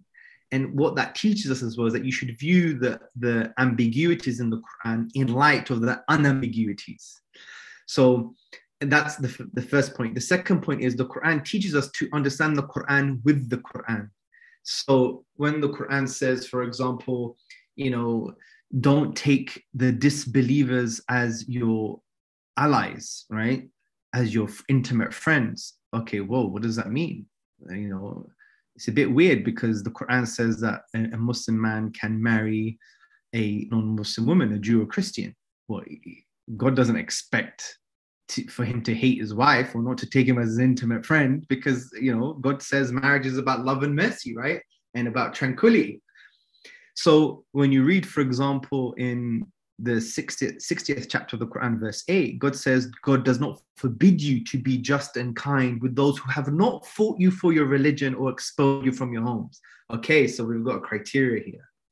If james is not fighting me because i'm a muslim he's not fighting me he's not expelling me from my home I have to have a sense of bir, of, of goodness with him, of intimate kindness with him. Yeah. So already now you've got this kind of intertextuality, right? Because remember, the Quran is not straight prose. If it was straight prose, then you could be like, you know what? Fine, I don't get it. It's it's not for me. But it's not straight prose. It's like a unique form of rhyme prose, as Devin J. Stewart said it's a Quranic saja'ah, meaning it's a Quranic form of rhyme prose. So that would already uh, give you the sign of, right, this needs some kind of analysis and unpacking. So I truly believe if someone is sincere and allows the Quran to speak for itself, all of these connections will be made over time. Um, because you know this this stuff requires sincerity and if it requires sincerity then it requires time if it requires time then obviously you have to be thoughtful about the whole process and any type of question that comes up you see that there is an answer so for example when when god talks about certain disbelievers and the way we should relate to them especially in certain chapters when you read the verses before and after and the theme of the chapter you'd realize okay it was the disbeliever polytheist at the time of war which is fair enough. There's a moral context here no problem.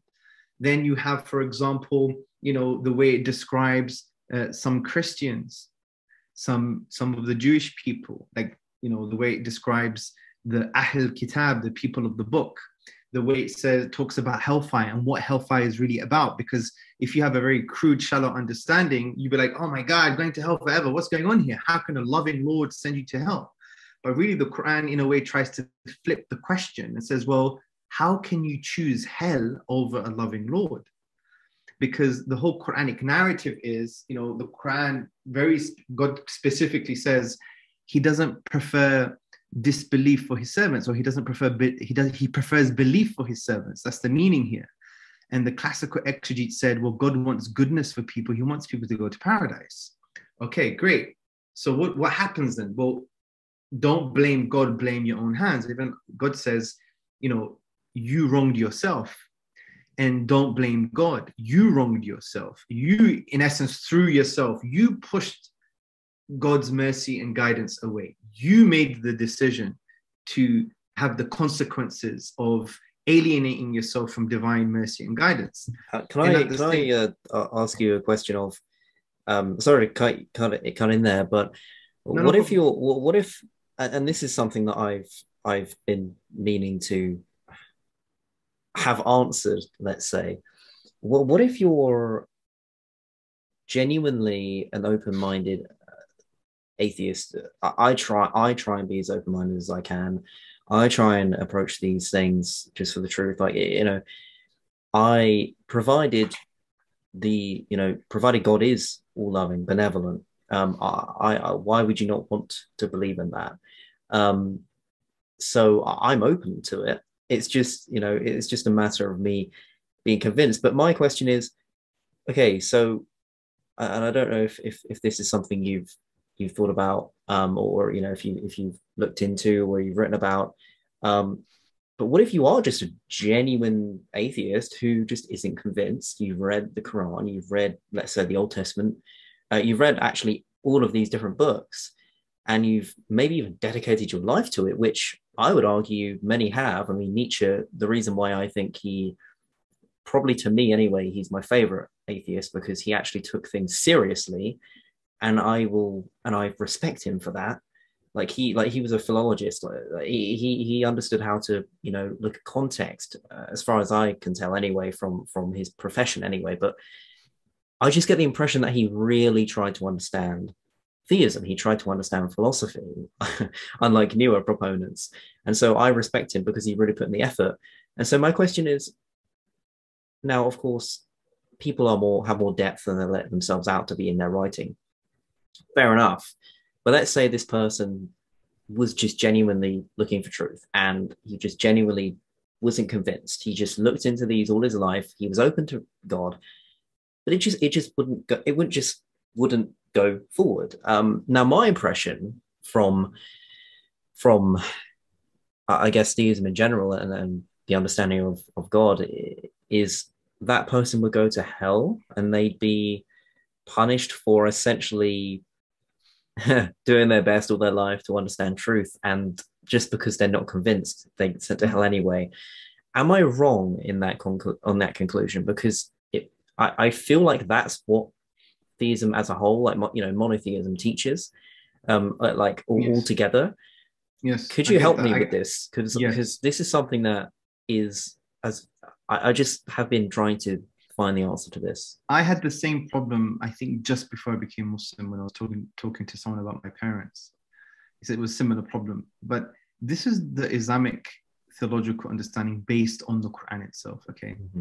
So the question presumes that sincere people will be punished. I can guarantee you that a sincere person will not go to hell. Guaranteed. But obviously, there is a definition of what sincerity means in the Islamic paradigm. But the reason I've mentioned this as almost like a rhetorical ploy just to get your attention is to make you think look, why are we presuming our end? If someone is sincere, they will receive God's mercy and guidance, right? Generally speaking. And we believe that those who reject the truth are eligible for this kind of self inflicted torment, if you like, right? Although God sends people to hell, but it's because of their own wrongdoing, their own mm-hmm. hands, right? God didn't want them to go there, but they closed the door to God's guidance and mercy. But there are traditions, there are different schools of creed that unpack this, and they say, look, based on the teachings of the Prophet Muhammad, upon him be peace, there are like four categories of non Muslims that die in a state of not being a Muslim and they end up in paradise, right? So it's a nuanced tradition. And some of those categories include someone who's too old to hear the message, someone in between the messengers, and so on and so forth. Now, some of the scholars, like the main scholars, like Ibn Taymiyyah, the 14th century theologian, Al Ghazali, the 11th century polymath and theologian, they come to a similar conclusion, although the way they get there is a little bit different. But the conclusion is, is that you know, especially, and I mentioned this in the book. I think Al Ghazali mentions about P, uh, uh, the Byzantines, uh, if they basically all they hear about are negative things about the Prophet Muhammad upon him be peace. They have no other knowledge apart from you know Islamophobic tropes and things like that, right? Then they you know they haven't received any guidance. They haven't received you know the truth of Islam. They haven't had the opportunity to understand it. You know, and them rejecting Islam, are they eligible for hell? The scholars don't say that. The scholars say that God is just and He's merciful, and He's maximally just and merciful. His justice and mercy are to the highest degree possible without, without any deficiency and flaw. And therefore, no one will be treated unjustly. So see it from a top-down perspective mm-hmm. because we don't know the specifics. This is about the human heart. You know, you know, I may claim to be a Muslim, but I may not die in that state. You know, may God protect me. But you know, you may claim not to be a Muslim, but you may die as a Muslim. We don't know what's going to happen in the next 10, 15, 20 years, or even 15 minutes, right? Right.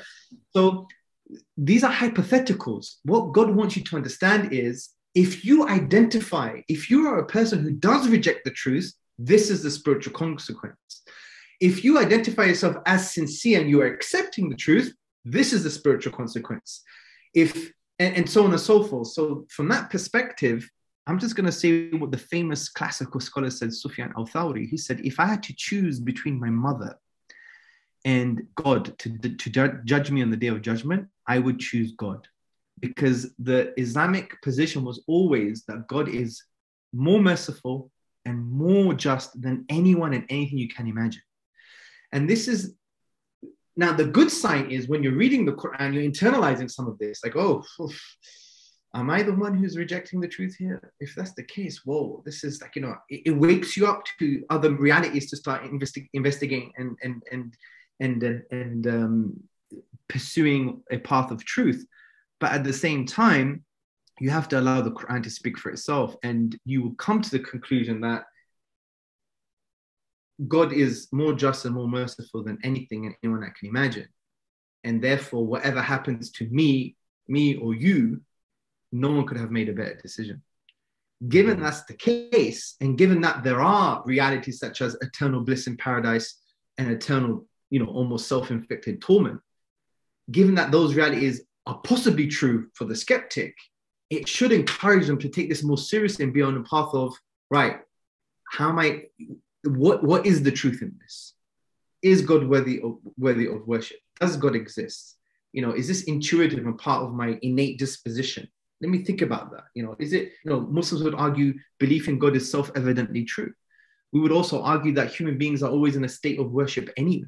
whether you believe in God or not. I, I agreed because... with you on on on that. I mean, um, I I definitely do in this sense, and I think this is what you mean because it was in your book. Um, but I it provided it's what I remember. It's essentially that you know even if we're not praying to God, we're still we're, we're still worshiping you know um, I don't know an ideology, um, maybe somebody else for that matter, um, or, or basically material things like mm. like I think you, you mentioned a few times in the book. Um, and I definitely agree with that. I, I you know, I, I think, I, I, think that people. Okay, so so I do. Um, I, am very interested in psychology as well. I, am uh, I'm on my sort of work year at the moment as an assistant psychologist, and I go back oh, to do my my my third year um, in September. Um, and so I'm really interested in psychology, more abnormal psychology, like the stuff that hasn't been like uh, near death experiences. I love all that. That's oh, interesting. Oh wow, wow. Yeah, I, I love all that. I I've I've um when, when I was assigned a um what is it a an assignment on that, I was really excited and investigating that was great. Um, but uh oh, I, lo- I lost I lost track now. Um, what let's let's rewind. Where where was I going with this? Um, oh yeah, so on a psychological level, people need values, right? And and this is where Nietzsche is really cool as well because he was talking about how important God is. And I completely agree with him in this sense. And look, regardless of whether he was being literal or metaphorical, the point remains was he wrong? No. People need, and, this is where I was, you know, talking about psychology. It's, you know, from my from my studying psychology, I've, I've definitely realized that people need their own gods, whether it's substance uh, substances, uh, material possessions, other people. Um, people need something to idolize. Some people need a higher being to look towards, because yes. without that, you know, then there's nothing. I, I was talking to Sheldon Solomon, um, co-founder of Terror Management Theory. He's he's he's so cool. I'm, I, I love talking to him. He, he's um, I don't know if you've read the the Worm at the Core or the Denial of Death. Um, no. I don't know if you're into like death psychology, not the most uplifting thing, but um, but but I was talking to him, and he was, and and this is actually linked to our mortality, um, which is, and he, was, you know, he's talking under a secular perspective, but he was kind of saying, look, in the past, people have used uh, cults, um, and he would, you know, put religion uh, as well, and and rituals, you know, all these different kind of modes of being, right? And they'd use this to essentially ignore the fact of their mortality, ignore the fact that their time is finite. Um, and terror management theory is essentially that. It's it's it's the idea that um, whatever we do is essentially a response to our inevitable death, and, and that everything we do is in avoidance um, or denial of it. Um, I would highly recommend The Denial of Death by Ernest Becker um, and The Worm at the Core by, by Solomon. They're, they're really good. Um, very, very interesting pieces. And I think I think linking this right to what you said about worshiping, it's completely true. The psychology all all backs this up, and, and obviously the philosophy in Nietzsche's Nietzsche's thing. It's like it all adds up. We mm. all need something higher to strive towards because without it, well, we're we're just reminded. Well, I mean, at least Nietzsche in my position. In, but go ahead, go ahead. Yeah, Nietzsche was interesting because, you know, when he said God is dead, he didn't mean that in a kind of ontological sense. He right. meant it like the God is dead in the hearts of European people. Yes. And they're going to realize that they don't have a basis for their values mm. and they have to now become gods themselves in a way. Yeah. Scary. Superman. Yeah. Yeah. And so he realized you needed that anchor, but he also realized as well that if that's the case, then everyone's going to have different set of values. And he kind of almost said, well, I have my values, where are yours? And he also linked um, values to power that might is right to a certain degree right? Um, so he, he he he was very prophetic in a non-religious sense. Like he actually yeah. he actually for me and i'm not a nietzschean scholar or anything but he prophesied what's happening in europe today yes. Right? i would say so. To, yeah. to a certain degree. He he he was even maybe one of the founders of postmodernism which wants to tear down any type of hierarchy or meta narrative or any truth and I think that's where the danger is in postmodernism to that degree, because in the postmodernist ideal is that it's all about the individual, and the individual defines himself, defines his truth, defines his identity, and de- defines anything that anything really. And they are they become the god from that perspective because modernism was a little bit different. It was more mankind is is is, is centerpiece now. You know there is objectivity and you have you know the use of mathematics and these scientific tools to come to objectivity and there is mind independent things and you have these established you know hierarchies or you know values or ideas. Now that all changed in postmodernism. Instead of mankind being central they became the individual human themselves and and i would argue postmodernism you may disagree with this but postmodernism is like the the worship or the glorification of the self um, of the individual of the ego. Um, and there's a lot of dangers in that you know especially their view on language their view on all mm. hierarchies structures ideologies truth i really believe if we continue down this line in europe it's going to be an utter mess a complete mess um, but anyway that's going off track. The point here is about worship, you're right.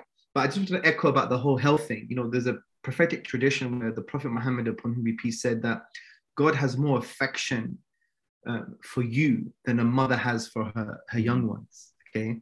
So that's always a kind of paradigm. But yes, heaven and hell are important features in the Quranic discourse to agitate our thinking as well and to give us the consequences of rejecting these claims of, of moving yourself away from divine mercy and grace and, and away from divine guidance. And it's there very clear. And it allows the person to make their own decision. And you know, sometimes we need these psychological, emotive driving forces because if you you could break everything down to pleasure and pain, mm-hmm. right, to a certain degree. Like even if someone sacrifices their life, you know, why did they do that? Because the pain of sacrificing their life for, say, a cause I mean, obviously not suicide, but you know, they were on the, you know, say Rachel Corrie. I don't know if you know her. Maybe you're a bit young to remember who no, she was. no, it was like an activist that was standing in front of the, the Israeli bulldozers, and then she was trampled and killed. Right. Okay. And you know, Rachel Corrie. You know, why is she there? Why is she risking her life? Because the pain of not doing anything was much worse than the yes. pain of doing something. Right. Yes. You can argue it in a very basic way of pain and pleasure. Mm you know, we would argue that God knows us better than we know ourselves, and we're pain and pleasure driven. And yes, there's different levels of pain for sure. Um, and you could attach different values and hierarchy of pain and pleasure, absolutely. But that's a different thing to unpack. And, but the, here, the issue here is on a fundamental level. God is saying, look, there's this divine gift that can await, which is based on divine grace fundamentally. And there's this a divine alienation that if you from your free will this phenomenal gift of free will that you've been given if you use it to push yourself away from the divine like god's not going to force his special grace on you right? To from a from a kind of functional um person-centric perspective you know? Because if that's the case then it has no meaning or value. It's like me putting a gun yeah. to your head saying give charity I mean, w- w- your charity has no value or meaning anymore. Right. So I just wanted to unpack that a little bit. But with regards to the worship thing, this is exactly what I do with everybody now. I I hardly the funny thing is my book might change a lot in the second edition because I'm not saying I've had enough of the philosophy, but you know, the more you get into academia, the more you could you're trained to split the philosophical hair, like literally. Like you, you are trained, especially if you do a master's and MRes, you're doing PhD, you're trained to take a premise and just just play around with it and make sure someone's conclusion is something totally different, right? So you're trained to do that, especially if you do analytical philosophy, right? Now, there, there is there is pros and cons to that. For me, I, I want to engage with the human being as the human being is. And the human being is not an is not an AI robot that you type in some kind of philosophical algorithm and you expect some kind of result. That's not what the human being is. Even modern cognitive science and psychology is saying, well, no, there's, you know, we may claim to be rational, but our claim to rationality is not that very yeah I, do, not, I, I, I don't think we are rational um exactly actually I, I don't i don't think we are um I, you know I, I did also want to bring up uh, a quote. I have, I think, a couple of quotes, um, provided you finished uh, what, what, you were saying. But but I think you know about the worship point and and the, yeah. academia. Um, but but I did want to um, talk about rationality actually. Um, was there anything else you wanted to add to, to what you're saying? Yeah, just, on that point, yeah. which is the, so the approach I want to take is what you've been saying, which is based yeah. on a Quranic verse, chapter 39, verse 29, when God says, and I'm summarizing, consider the situation of two people. One man is a slave or a servant to many masters and they're all quarreling. And another man is a servant to one master whose condition is best. So you know, my pondering over this is God is trying to say to us that if you don't worship God, the one who's worthy of worship and knows you better than you know yourself, you're going to be worshiping something else. And what we discussed worship earlier, which is, you know, there's something that you want to know the most, something, something that you focus on or recognize the most. It's like the ultimate truth for you. Something that you love the most, something that you obey the most, something that you direct internal and external acts of worship the most, like praise and gratitude someone has always uh, internalized these points. Like you've always at one point in your life recognized something the most, even if it's for a moment. You've always loved something the most, even if it's for a moment. You've always obeyed or referred to something the most, even if it's for a moment. You've always praised something the most, praised something or being, or you've directed gratitude, utmost gratitude towards something or some things the most at any point in, in your life. So if that's the case, that has been or is your object of worship or objects of worship. It could mm-hmm. be an mm-hmm. ideology, it could be your yes. ego, it could be a celebrity, it could be your social circle, it could be your parents, God knows. But the point is, as Martin Lings said, man cannot not worship. So we're always in this kind of state of worship. So the Quran came down to actually solve that question. Well, this is your state because we're all contingent beings. We can't be independent, necessary beings because that's God, right? We're all contingent. So we're going to be dependent on something and not only physically and ontologically, but also spiritually and psychologically. So make choose your worship. And God says, well, God is the one who is actually worthy of worship by virtue of who he is, and so on and so forth. And that's the point. So when I try to articulate myself to atheists or agnostics, I just want to plant that seed. I'm like, choose who you're going to worship. And I think mm. intuitively and psychologically, and based on your innate disposition, I believe that if people really think about that properly and engage with the Quran and understand God as God describes himself, I think eventually, if they're sincere, they will come to the conclusion like, you know what, this is this is the this is the deity that is worthy of worship, and then they start their journey. Um, so you're right; it's very phenomenal that you've actually raised that point. But talk to me about rationality. And yeah, um, so I, I think we might um, I think we might weirdly enough, I mean, it, obviously it's not a debate, but weirdly enough, it does feel like we're we're agreeing. I mean, on the worship thing, and and because uh, I've seen again, I, I, just the atheists that I've um, come across. I mean, the cosmic skeptic, I, I, love I love his stuff. Rationality rules is cool as well. Um, uh, it's just these new atheists who who who yeah just just don't have these good arguments. But but the whole worship thing, we it's funny that we are actually agreeing. Um, uh, quite quite a bit actually, and uh, I was something which I think you might find interesting. Just before we get to the quote from your book, was in in actually in the denial of death. Um, Becker references uh, I, Otto Rank, who was a uh, I think he was an Austrian or may, maybe something like that, a psychoanalyst, and he said basically at the core, men are not biological creatures but theological creatures, and wow, I, I don't know. I just found that, you know, I, it's not like I'm, you know, from that statement alone, I'm not like, oh yeah, theism is true. But, I, but what I am like is, okay, well, seriously, human beings are disposed to something beyond.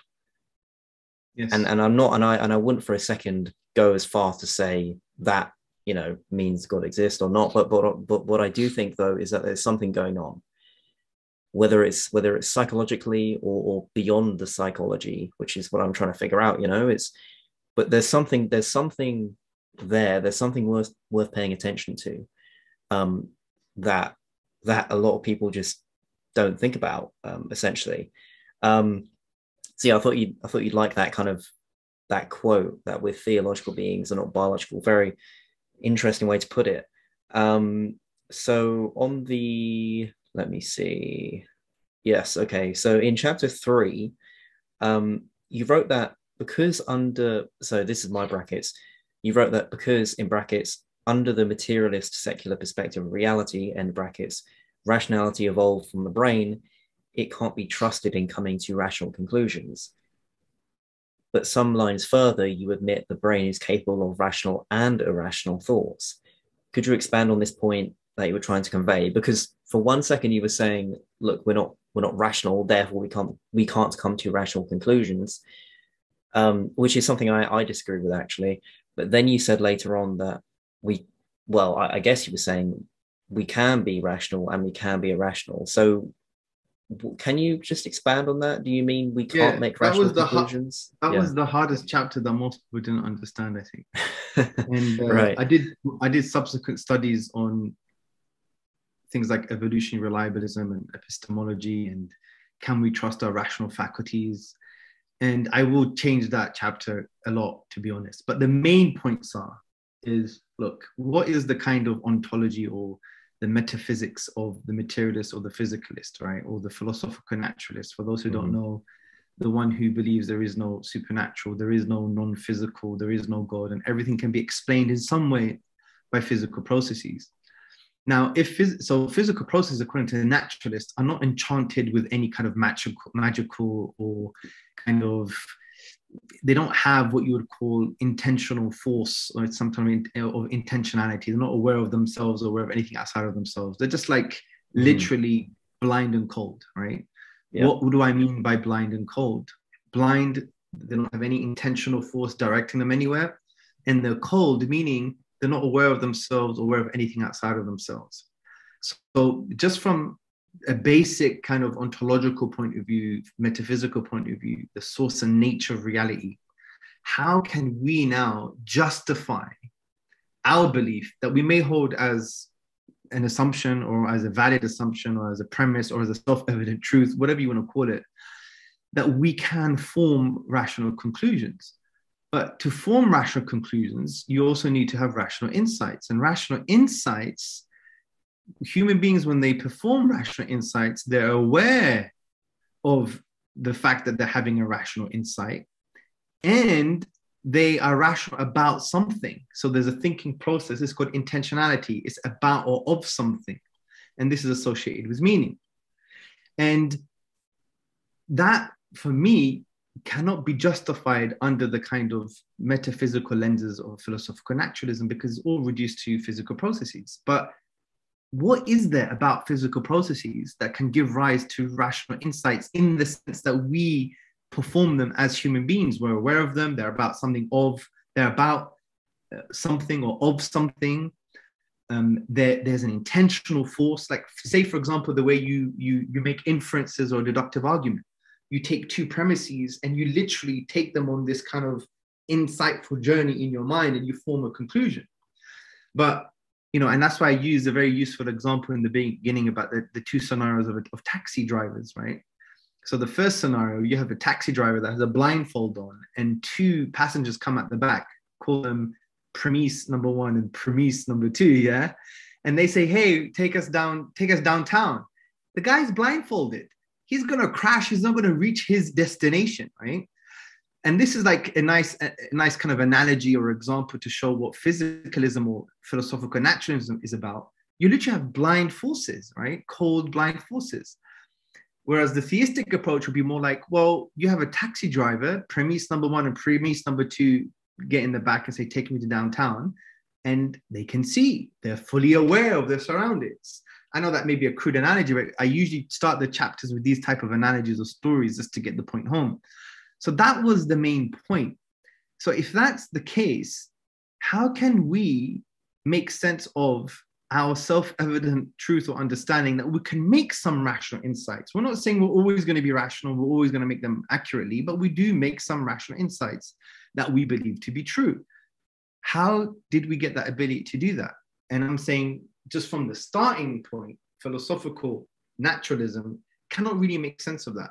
But yes, it gets far more nuanced. You have this issue of evolution, and you have this idea of evolutionary reliabilism, which is the idea that natural selection, you know, was more likely to select traits that produced true, true, true reliable cognitive faculties over cognitive faculties that were not reliable. Um, right. And, yeah. Yeah. So, so like, um, have you heard of Bret Weinstein's uh, metaphorical truth? um, No. slogan. It's like, and it's I think is what you're saying here. It's like um, acting as if something is true, even though it isn't, but you gain from it. Is that something like what you're what you're trying to convey? Because it it, it, feel, it no, I- feels similar. well, but I'll, I'll explore that. Bruce, what's his name? oh, is uh, Brett Weinstein? Bret Weinstein. Okay, Yeah. no, it's, I'm not saying that. What I'm saying here is the evolution reliabilist understands that there is no necessary connection between natural selection and truth. There's no necessary connection. For example, you can't say uh, na- um, uh, biological forces, natural selection i- is always going to lead to truth, right? That's not the case because you have many scenarios where you can say, well, in actual fact, n- not acquiring the truth, not following the truth, not having true reliable cognitive faculties could actually lead to survival. For example, if you're a jungle person, you're in the jungle, and you believe the false belief based on your unreliable cognitive faculties that all fungi are poisonous, you're going to survive because you're going to avoid the fungi that are poisonous. And you also happen to avoid the fungi that are nutritious, but there's other foods for you to fulfill your needs, right? So you can have unreliable cognitive faculties you could and you could not acquire the truth or come to the truth and yet you can still survive that shows and there are many other examples but that I don't I don't think that's wrong. But yeah, I, I don't I don't think that's wrong. Um my, my I suppose what I'd follow up saying is I agree basically that I mean I, this is definitely a, a- an interesting topic to go pretty deep in, but but on basis I'm I'm willing to agree that we are not basically rational creatures. But what I do think is that doesn't mean we haven't got access to being rational, provided we educate ourselves with the with the apparatus um, and and the, agree. uh, the the the methodology to do so. So that's kind of where I was confused because it was like, are you saying we can't be rational, or are you saying we can't Uh, justify where our going. rationality? No, I'm saying we can be rational and we are rational as human beings, but can we justify that with Right. philosophical naturalism or evolutionary reliabilism or natural selection? That's the question. yes, and and although the evolutionary reliabilists are developing you know some arguments but generally speaking what they say is fine forget the necessary link between natural selection and truth because you, you survival and truth because what they say is obviously natural selection will pick traits that are conducive to survival and reproduction and you know if in order for them, for them to have the case that to justify that we have rational faculties you know you have to show that acquiring truth and having reliable cognitive faculties would always lead to survival. But that's not the case. It could lead to your demise. So, therefore, natural selection could have chosen unreliable rational faculties that would lead to falsity and not truth in Mhm. order for you to survive. It could be the case. So, therefore, they can't have a necessary link between survival and truth. So, what the evolution reliabilists say is fine, we're not saying there's a necessary link. We're saying it's highly likely. So, it's far more likely for natural selection to have chosen the traits that lead to rational faculties, the traits that lead to true, reliable cognitive faculties, because that was more likely for you to survive. It was more likely for you to survive. Mhm. However, in order for that to be unpacked, you can't just make that claim. You have to provide some kind of, kind of empirical evidence. And the empirical evidence is very, very, very shallow at, the, at this per, present moment. In actual fact, when you look into you know, the kind of cognitive sciences, you see that actually you have scholars who are saying, well, you know what? Our perceptions, the development of our perceptions were designed, or not designed, they probably don't use those terms, but they say the, the fact that they are unreliable is far more conducive to our survival. There's actually a paper on this. I'll have to share it with you. yeah. So there's yeah. some empirical evidence to show that actual fact that the evolution reliabilists may not be able to even justify their view that it's more likely that natural selection selected um, uh, true, true reliable cognitive faculties over unreliable cognitive faculties that, that led to falsity. But that there's a massive, massive discussion and debate because you have to also define. I remember I was having a discussion on Twitter with an atheist on this issue, and he went for a while. And then, you know, there was so many philosophical nuances. But in terms of the purpose of that chapter, it's really to show look, before you even discuss natural selection, before you discuss all of these things, your whole kind of metaphysics, your ontology, the lenses in, in which you put on your eyes to understand reality, can that give you a basis for us having rational faculties? I wasn't denying that we have rational faculties, I was mm. affirming them. I'm just denying that you have a good, you could ground those rational faculties or yes. explain them in reference to natural selection, sorry, in reference to philosophical naturalism and even to natural selection, because it could be the case that, you know, we had unreliable uh, uh, true beliefs and they led to our survival. In actual fact, you know, the whole thing about storytelling, if you look into stories and storytelling, it's extremely important uh, with regards to the, the, development of our species. And you know, story t- and they have understood now that storytelling was based on true stories and false stories, and it was important for so many different you know reasons pertaining to survival of the group and therefore the individuals.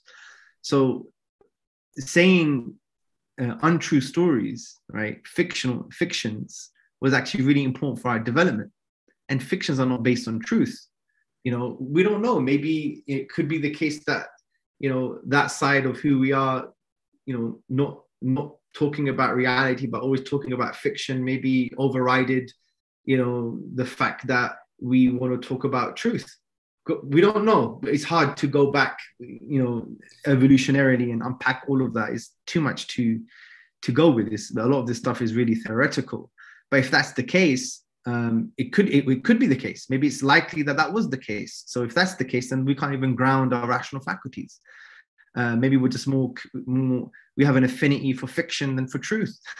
I mean well yeah i, I, I think social media yeah. I, th- I, think we do. Um, uh, yeah, and social media especially demonstrates that. Um, yeah, I mean, I when you were saying fiction, uh, that there's truth in fiction, I, I definitely agree. I mean, um, you know, there's a quote saying something on the lines of like, you know, no, no fiction author. Um, every every book, let's say from a non-fiction author, is in some regard an autobi- uh, autobiography because at the end of the day, they are drawing their stories from their experiences, what they've read, you know. So everything, in a sense, is autobiographical, right? Mm-hmm. And and um, uh, let's say Dostoevsky's Crime and Punishment, um, or, or his Demons. Let's say um, Crime and Punishment highlights how dangerous it is for for somebody to um, rely on the, I guess, their own standard of morality or that which they believe society is telling them is right because Raskolnikov believed what he was doing was correct. Like, oh, well, what's wrong with murdering that old woman if everybody else doesn't like her? It's like, well, there's more to it than what the crowd thinks, right? And in Absolutely. Demons, which is really cool, Demons is like really long. I, have you checked it out? It's like a really, really long piece by Dostoevsky. Um, I he, he's really cool. I love I love Dostoevsky, but I do think he needed an editor 100% it's probably hmm. blasphemy me saying this for any like russian listeners or anything like that of dostoevsky but my god he did, he did need he did need an editor. But in demons it's long sure but it's it's cool because like crime and punishment it's kind of taken on a much larger scale. Um it's basic uh, have you have you read it? No i haven't actually it's no. it's it's really good. I mean as i said prepare yourself. It's long but wow. it is really cool um, from a political, from a historical, from a even a religious sense because there's somebody, for example, in the book who is contemplating, you know, ending themselves and and and and others, and it kind of exacerbated in how their nihilism permeates everything they do and say. Mm-hmm. Um, and what's cool about demons is that it's actually kind of like crime and punishment, but just taken to the extreme. It's about this kind of band of people, these revolutionaries, and they essentially kind of come together with this greater good concept in their mind.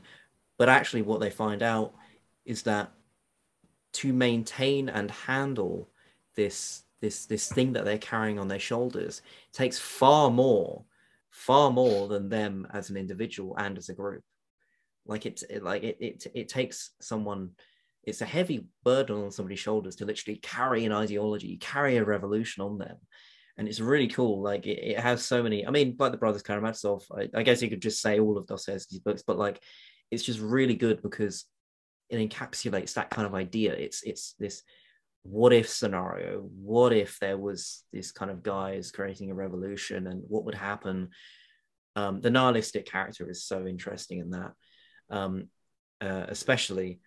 Um, yeah. So, okay. I, th- I, I think you know I'm I I'm you know on the on the evolution reliabilism stuff. Yeah. Because um, yeah. the one on Amazon is not as updated as the one that has is available as a download on the Sapience website that's free. Yes. And with regards to evolution reliabilism, uh, there is much more to say. And obviously, it, it does get very deep uh, philosophically. Um, and, you know, I don't want to paint the evolution reliabilist as, as not having a position. But uh, on page 61, which you may not have because you may have got the Amazon version, it says a note on evolution reliabilism. And I basically talk about that, you know, what I just said earlier, many naturalists admit that there is no necessary link between survival and truth. Mm. They maintain that it's highly likely that there were biological conditions and pressures that gave rise to reliable cognitive faculties that produce true beliefs. And basically, you know, the main premise for this argument is that truth reliable cognitive faculties were more fitness enhancing, yeah, right. than unreliable cognitive faculties. However, the you know James Sage, for example, he's an academic. He argues that can't be the case because, you know, he, he, he basically argues that an organism may hide because it believes falsely that a predator, predator is nearby. Evolutionarily, it pays to have cautious belief forming processes that over detect dangerous predators, yes. especially when false beliefs carry little cost. So there's more of a biological cost, which is not conducive to survival and production. And he, and I just want to quote him on this issue. He's, and basically I say, truth reliable cognitive faculties could not have been favored by natural selection as they came out as a high cost. James Sage maintains that truth reliable cognitive faculties come at a high price. And he basically says the brain requires oxygen, calories, and cooling. Uh, calculated detailed inferences with minimal data requires considerable time and concentration. And he goes on and on and on.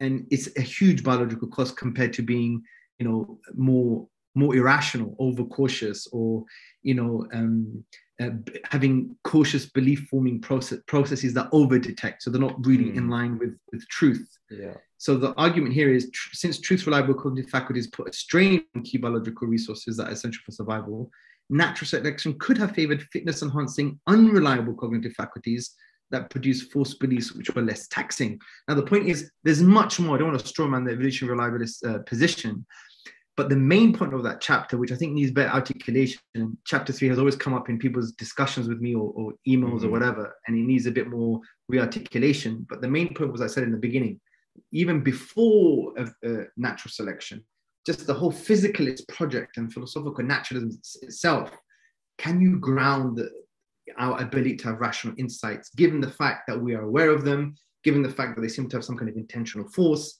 and those things you can't give that to physical processes. Even even the philosophical naturalists would admit that to you they may argue there's some form of emergence, but then you go into consciousness and you have to deal with emergent yeah. materialism, the weak yeah. form, the strong form, and there's and I mentioned that in the book, but there's so much to unpack. Yeah, um, but I, consciousness. I, I, I, like your psychological take on things, though. It's it's it's good. Yeah, no, the psychology is is is extremely helpful. And I mean, William James's um, varieties of religious experience, I've been rereading actually, um, because I, I picked my modules at university, which was the psychology of religion, the psychology of paranormal, I think, and this. Oh yeah, and then the psychology of trauma. Um, so wow. I'm kind of like I'm kind of like going back, and I'm I'm trying to reread some of my some of my stuff that I've read a while ago, and then obviously reading new stuff. Um, and William James is really cool because he does really take it on a psychological level. I mean, he he was a psychologist, if I remember correctly. So I think that's really important. Um, and now this, yeah, and then I'm just thinking of um, sort of revelations, um, which which is something else I, would probably want to ask you. Okay, so I and, and by the way, I, I am actually satisfied with with how you replied um, with, with that reply. I, I do think that's a serious serious thing to to consider. I think that's an interesting uh, point you made, and I'll definitely think about that. That's worth that's worth considering.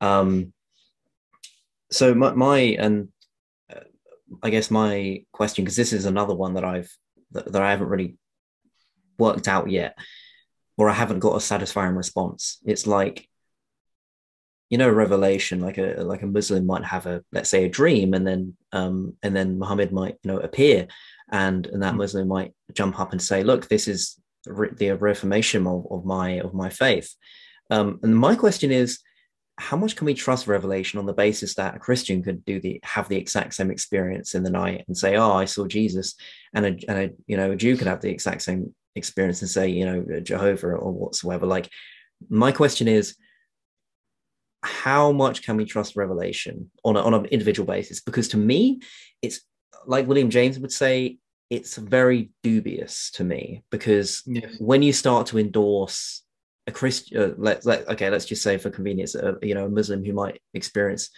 um, you know, God, how do we come to that conclusion that this revelation is true? Oh, but the Christians one isn't. It's like I I, I find that really difficult, really difficult. Yeah, I agree. I agree. I mean, obviously, there's a difference between like revelation in terms of scripture. Yes. You know, a, a, theist would argue, well, they may have internal and external evidence to show that that scripture is true. But if you're talking about personal revelation, like dreams or sure. inspiration, you know, this is a concept we have in Islamic tradition. Ilham is like, you know, personal inspiration that one would argue was, you know, given by God in some aspects. We also believe in the power of dreams. Like dreams are one, I think, one forty sixth of prophethood. So, but like with all experiences, whether they're dreams or inspirational spiritual experiences, like my dad has many spiritual experiences. You know, uh, you know, a, a, Jewish person may see a bearded person in his dream and think it's Moses. You know, a Muslim may think it's Muhammad, upon him be peace, and a Christian may think is Jesus. So what I try and do when I discuss experiences with people is I do not dismiss the experience because dismissing the experience is like dismissing the person, especially if they're connected to it psychologically. What I try and get them to do is to stand in the possibility that your lenses in, in which you have used to understand your experiences may not be the correct lenses. That's what I try and do. And usually, from an Islamic spiritual perspective, these experiences, if they're positive and they've come from God, they're really experiences of oneness or experiences of understanding, you know, a certain message that links to the oneness of the divine. Yeah. Um, what I mean by oneness here is not you being one with the divine, but you appreciating that there is a, a, a deity that is worthy of worship that is uniquely one. Um, so for me, it's about getting them to make a distinction between the experience and the interpretation, because sometimes mm-hmm. people make the experience and the interpretation the same thing. And that's dangerous in some way. Um, and also, you know, from the perspective of me trying to convince someone that, hey, your experience that you think it was Jesus and proving Christianity is wrong, uh, you know, you know, I, I would say that because of my own commitments that I believe to be true. But obviously, you have to do it in a human way, not dismiss the experience itself. So you want to make give them the power to make distinctions. Make a distinction between the experience and your interpretation of the experience. Once you get them in that possibility, they could stand up in that possibility. Then you can start discussing, right, if there is a difference between the experience and your interpretation or your lenses that you have, well, let's talk about those lenses and you can see those experiences in a different way. So you could say is, well, you know, if you still believe it was Jesus or Moses, at the end of the day, you know, there are three types of dreams in the Islamic tradition, right? Dreams that have come from God, dreams that are just based on your kind of day to day thinking and just knowledge, experience, what you did in the day, whatever the case may be, and dreams that have come from Shaitan, uh, Satan. So you know, you know, you could give them that lens, or maybe that dream was as a result of your frame of reference that you deal with on day-to-day basis which is, is jesus or moses because that's your that's your understanding that's your frame of reference that's your your your reference for your theological and spiritual life. So it's going to come in your dream because that's as natural as part of maybe your subconscious whatever the case may be. Or the dream could be such that you can give it a different interpretation and give it a different meaning that's in line with what you believe to be true. So obviously, I believe Islam to be true. So I'm going to try and give it an interpretation that is in line with um, Islam. Or you could give it the other view that maybe it's just you know the devil's way of taking away from the truth, right? Uh, that comes that into unfalsifiability, though, doesn't it? Which, yeah, yeah. which, yeah, which is which is difficult to navigate. Um, my my question is to follow up on that, which is yes, okay, but why doesn't let's just say Islam is true and the Muslims experiencing Well, I mean, in what you just said, then that wouldn't necessarily be the case. But um, I mean, let's say if there is a uh, you know a personal revelation, why doesn't Muhammad reveal himself exclusively? Surely, surely that would just be a lot easier. I mean, now I'm kind of questioning God's will, and maybe that that's a bit of muddy waters. I know, but no, really, I, I, I, mean, if yeah. even if you know, even God, uh, uh, you know, alludes to this in the Quran itself, right? You know, what what kind of evidence is evidence for you to be convinced? I mean, God could bring you the most strongest evidence, and you could still dismiss it as magic or as you know, yeah, because of your state of being, your state of heart. The point is, from the Islamic perspective, we believe we have all the evidence that we need. We have two universes, right? In, in a way, we have three. We have the macro universe, which is, you know, the, the natural world, the interconnecting principles of nature, the whole universe. You have the micro universe, which is within yourself, physically and psychologically. And you have another universe in a way, which is the book, the Quran. It's like a universe in itself that needs to be explored. All of those three things are enough for a person who is sincere and, and wants to reflect and that's why there is a common theme in the Quranic discourse when God talks about, you know, signs for those who ponder, signs for those who reflect, you know, those who have understanding, those who are mindful of God, those who reason. And there's that theme continuously. Um, so one would argue the evidence is already there. You could you could have all the dreams in the world that spell out the truth for you, and you'd be like, ah, this is just, uh, you know, I've had too much to drink, or had a history of drugs, or you know, I've been thinking about this a lot lately, so it's been coming to my mind. I mean, you can veil the truth in any way that you want, really.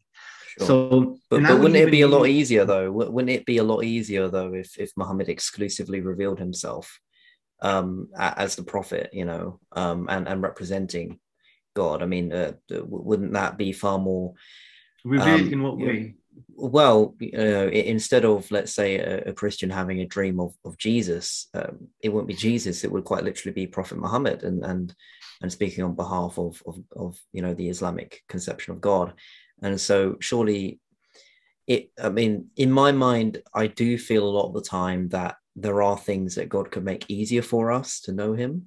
And now this kind of comes into divine hiddenness, and that's a whole rabbit hole. Yeah, but yeah, I get, I get, you know. But in terms of the dream, look, yeah, you know, I had this situation where a evangelical preacher, a lady, she uh, used to walk outside mosques, and uh, from what I remember, she was saying that she used to pray for Muslims to be guided. She was like very evangelical, came from an evangelical family. Her husband was an evangelist and stuff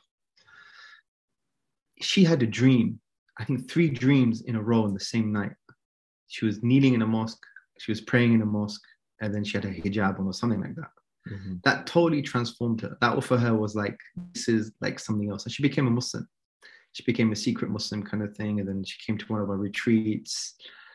That was one of like, if you hear her story, it was one of the most blatant signs that anyone can give you right? I'm, I'm obviously paraphrased her story, but it was like, okay, well, this is very obvious that, you know, God is telling you you should become a Muslim because I think she prayed for the truth and to be guided. And in the, the subsequent dream, she got an answer or something like that. And I'm like, whoa, this is phenomenal. From what I know now, she basically went back to Christianity. Well, to, to be the devil's advocate, though, I mean, surely there would be cases where um, a, a Muslim would be walking past church, Christian churches and they'd be thinking the exact same thing, and then they would have Agreed. the exact same situation. So my question is, how how reliably and consistently can we use these personal revelations? Because and and I and I do agree with you in regards to I mean, Matt Matt Dillahunty. Yeah, I mean I, I probably I probably put my money on that. Like we, you know, let's say if I if I did uh, if, if I was a Muslim or something like that, I, I do genuinely feel that I, I, would kind of discount that as a reliable um, access point, let's say, to, to, to that truth. Unless you have a frame of reference that you externally believe to be true that allows you to interpret that experience in the correct way. And that's why I'm focusing on the distinction between the interpretation, because even for that lady who had these so explicit dreams that is giving her answer after answer, that is like, okay, um, like, you know, if your objective is like, whoa, this is spooky, even that wasn't enough for her because remember you could it's sort of about your frame of reference your interpretation it mm-hmm. could be like from a Christian point of view, that's a Satan playing games with you. He wants you to move away from Jesus Christ, right? Or whatever the case may be. You can have a frame of reference that interprets your particular dream in a particular way. Yes. Fine. You can't prove it necessarily unless you prove that source of knowledge to be true. And that's why interpretation is very important. But I don't like really dismissing people's personal experiences because you just switch them off. They would not take yeah, you seriously. Sure. Like my dad has personal experiences. Many people, spiritual people, or people who call themselves spiritual, have spiritual experiences. Well, I'm not going to say to them, "Oh, you just you've taken too much drugs," or you know, you just you know you've been thinking about this too much, or it's from Satan.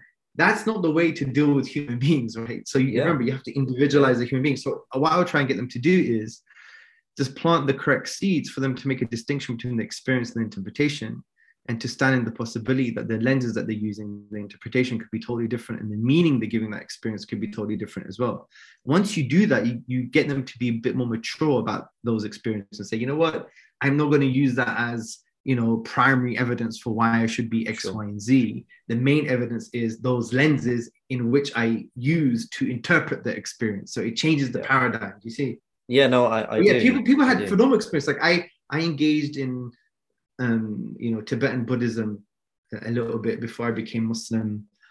And you know, I knew of people who had family members who were Buddhists, Tibetan Buddhists, and they could have all of these very kind of spooky experiences through meditation and so on and so forth. Even in modern cognitive science now, I had a discussion with Professor John Vervaeke, the University of Toronto. I mean, he's an atheist from what I understand, but he's into like things like Buddhism and I think chi energy and you know he's into the meaning crisis and so on and so forth. And he says there are there are models or there are uh, theories or constructs in cognitive science that can explain why people ha- have those experiences, right? So again, even from a secular perspective, you ha- you can have a a, secular frame of reference or a cognitive science frame of reference that you use as a lens to understand those experiences, which would be maybe totally neutral, won't give you any kind of religious conclusion. So again, this just goes to show what is the lenses that you use to understand those experiences, and that should be the fundamental discussion. You know? Yeah, I mean, I, I totally agree. Let's look at the predispositions. Let's look at the let's look at the the a priorities. Let's i mean you you were talking about that with with Krauss as well like you know the and I, I i don't know if you've if you're interested in phenomenology um but i was reading maurice merleau-ponty's um phenomenology of perception and what i liked about that piece was it's really dense but what i liked was kind of like nietzsche he was taking it seriously unlike so many modern people that i've come across. It's like he was really saying basically um, let's just look at first principles. Let's just see if our immediate reality is even worth trusting, let alone then believing in observational facts. And I was like, that's awesome. I love that. Like, let's just look at the let's just look at the a priori. Let, let's just look at the dispositions because that's really where it's at. Because I feel like we're missing a step. Um, yes. And I think I, th- I think me and you are definitely on the same wavelength in that regard. The first like person experience is so important though, if sure. you have the right lenses. Yeah. And that's the beauty. If you have the right, what Muslims would call aqidah, your creed, kind of the correct lenses to understand yourself in reality, mm-hmm. then the experiences have a massive impact. You need to be, you need to have a, a form of experiences, and that could be through prayer, through the feeling of what we call the khushu', which is it's very hard to define. Like in the prayer, you should be in a state of humility and adoration to your Lord. That state itself is a kind of positive experience that can be transformative. So those things are very important because sometimes when you abstract everything so much on intellectual abstract stuff and you have to have the correct lenses and truth sometimes we lose the kind of phenomenological first person yeah. experience aspect so although we are saying that you need to make a distinction between the experience and the interpretation or your lenses, but you need the experience in order to make sense of the lenses as well and for you to continue and mm. to internalize and be on that path. Do you see my point? Yes. Yeah. Yeah. It's like with anything in life, really, you know, even when you're training uh, for a boxing fight, you know, you could conceptualize how to get into the ring, what you need to do But I'm telling you, if you haven't done any sparring, I don't care how smart you are, I don't care if you've got the right algorithm, you're going to lose. You need to have that first person experience what it feels like to be punched in the face, punched in the mouth, your instincts are getting affected. Yeah. You need you need that. You need that. I don't know if that was a healthy example. Too many violent examples on here. but, you know, I, am a boxing fan. You know, I, I, like martial arts and stuff like that. So, but yeah. So from that perspective, yeah, uh, I don't want us to like show to the audience that we're dismissive of experience. That's that's that's I I, I mean even even as a future psychologist, you hopefully you never be like that. You'll get them to, and that's why good psychotherapists. Because in actual fact, I did psychology at Westminster oh. University many many years ago actually for my module for counseling, I got an A, I think. Wow, uh, nice. Um, and I remember my teacher telling me you're in the wrong you're in the wrong subject because I would also I would question, for example, when we studied cognitive behavioral therapy or yeah. the behavioral school or the human centric approach, you know, Carl Rogers, whatever the case may be, I would go to the philosophical premise of why is this approach a good approach? Yeah. And she was like, yeah. I, from what I remember, she said you should be doing philosophy, and it's quite yeah. funny. I went on my philosophical academic journey, but yeah. So even in, in, in counseling, in good counselors, sometimes they don't try and change people's worldview per se. Mm. They try and find out what they believe to be true. If it's relatively healthy, they would use it as a reference to give them transformations. Because imagine, yeah. for example, you're a counselor, and a Muslim comes up to you and says, "I have this, that, and the other," and they're, they're, they're devout Muslim imagine you giving them like a totally different frame of reference it's going to destroy them right they're going to be mm. like i can't connect with that so a good counselor needs to be intellectually and phenomenologically empathic to understand right what can i anchor from their tradition in order to empower them? Yeah right. so i think uh, yeah. uh, i think good counselors do that generally speaking. Yeah i mean it, uh, even when you were yeah no even even when you were talking about you know talking to somebody who, who may have this personal revelation, it, it also reminded me of, you know, when talking to clients, when they kind of pr- represent or sorry, present their own um, diagnosis or, or, how they feel like, um, you know, for example, somebody might be seeing things. There might be a spider on somebody. They, they feel that there's a spider on their head. And, and whenever they ask somebody else to, um, you know, for their opinion, if it's there, they're like, no, they're like, you're, you're kind of crazy. Like you need to see somebody, but actually as a clinician, like yeah, I was talking to one of my peers about this, and they were like, "Well, you need to be very careful, like you were kind of saying, of of you need to accept what they believe is true, and then go from there." And it's funny because you you very very literally kind of were on the same um, uh, line of thought, which is anchor with them, and then you can move for, move forward. Because it, mm-hmm. yeah, it's like it's like in these debates, isn't it? Like if if you're not then they're not coming from the right place. Um, there's one debate with Matt Dillahunty and um, oh, I'm gonna forget Braxton Hunter, and that's probably one of my favorites actually because it came from a very um, positive place. It felt like the, the debate was actually quite constructive, and Matt Dillahunty wasn't being as I don't know dismissive, let's say, um, as he can be. And uh, Braxton Hunter was I actually found his answers to be quite quite worth their salt actually, and I was like really impressed. And then there was a, another one with uh, Christopher. Actually, probably my favorite debate with Christopher Hitchens is with um, Rabbi Wolpe and another guy, um, and then Sam Harris as well on near-death experiences, I believe. And that mm. was really cool because it felt like they were all just friends, and it just it didn't feel formal. It just felt like this conversation and and this the, we can draw this back to many things i mean we were talking about individualism before and getting to the getting you know getting to the center of people and then working forwards. And i think it just all comes down to this idea of remembering that we're not an island.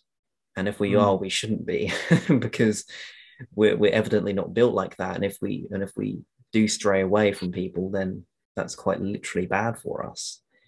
Um i yeah i mean i I, ha- I have a question also on. Um, I also let me know if let me know if you need to sleep or something. I'm not sure what time it is. No, this has felt like half an hour. Yeah, or 45 minutes. But I know it's been it's been long, but it hasn't felt that long. It's been yeah. Yeah, no, I, I just wanted to check with you, but yeah, I mean, it's it, it feels that way for me as well. It's I, I wanted to talk to you about um, apostasy in Islam because I feel like this is this headline thing. Islam is a religion of peace, but it kills anyone who leaves. What is your immediate response to that kind of view?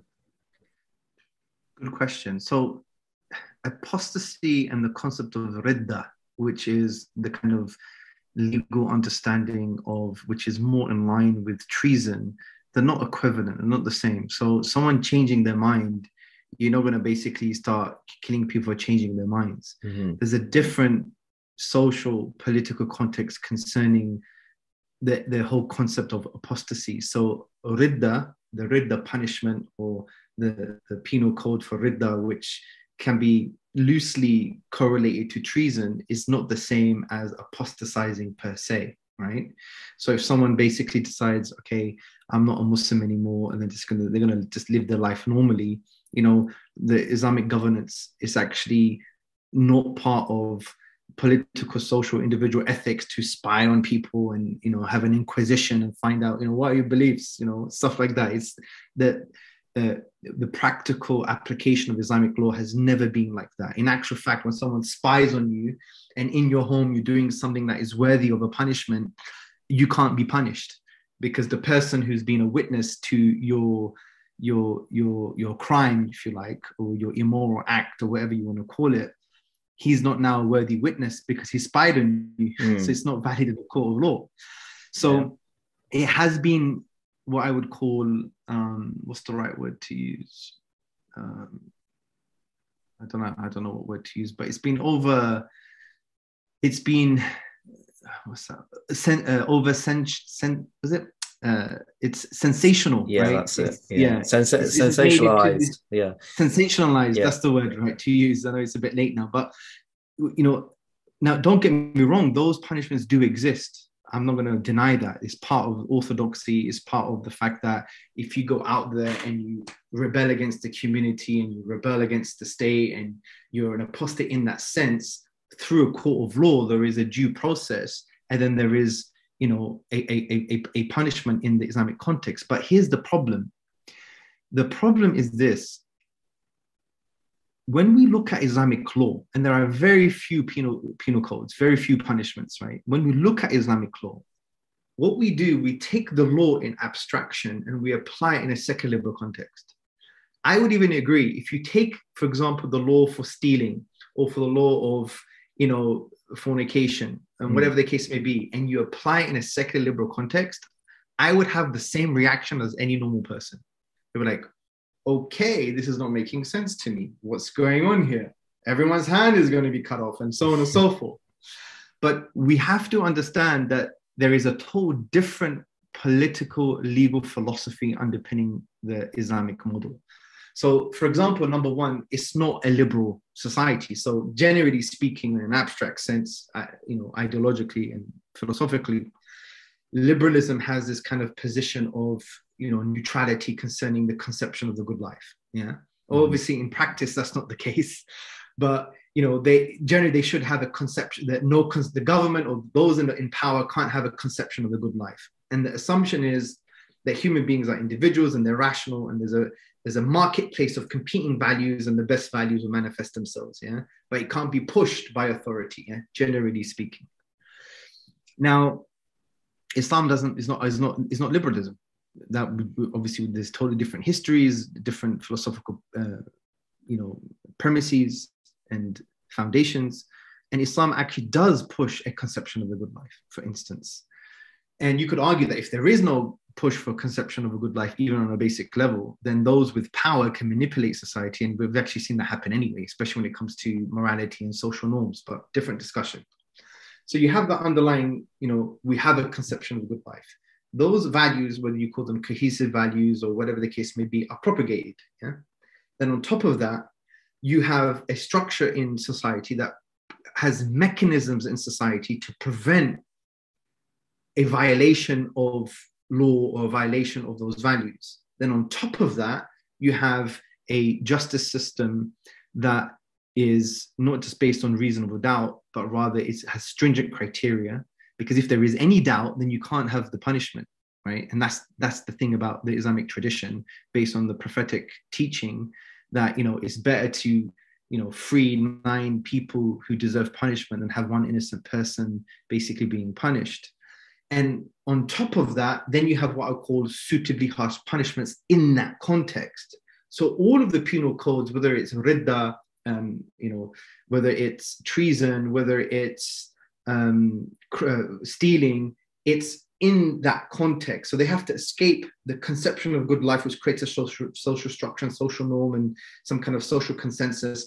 And you have to escape then those values being propagated, then you have to escape the mechanisms in place to prevent the crime from happening in the first place. Then you have to es- escape a very kind of a detailed uh, uh, uh, uh, legal system that is not just based on beyond reasonable doubt. If there is any element of doubt, you can't have the punishment in the first place.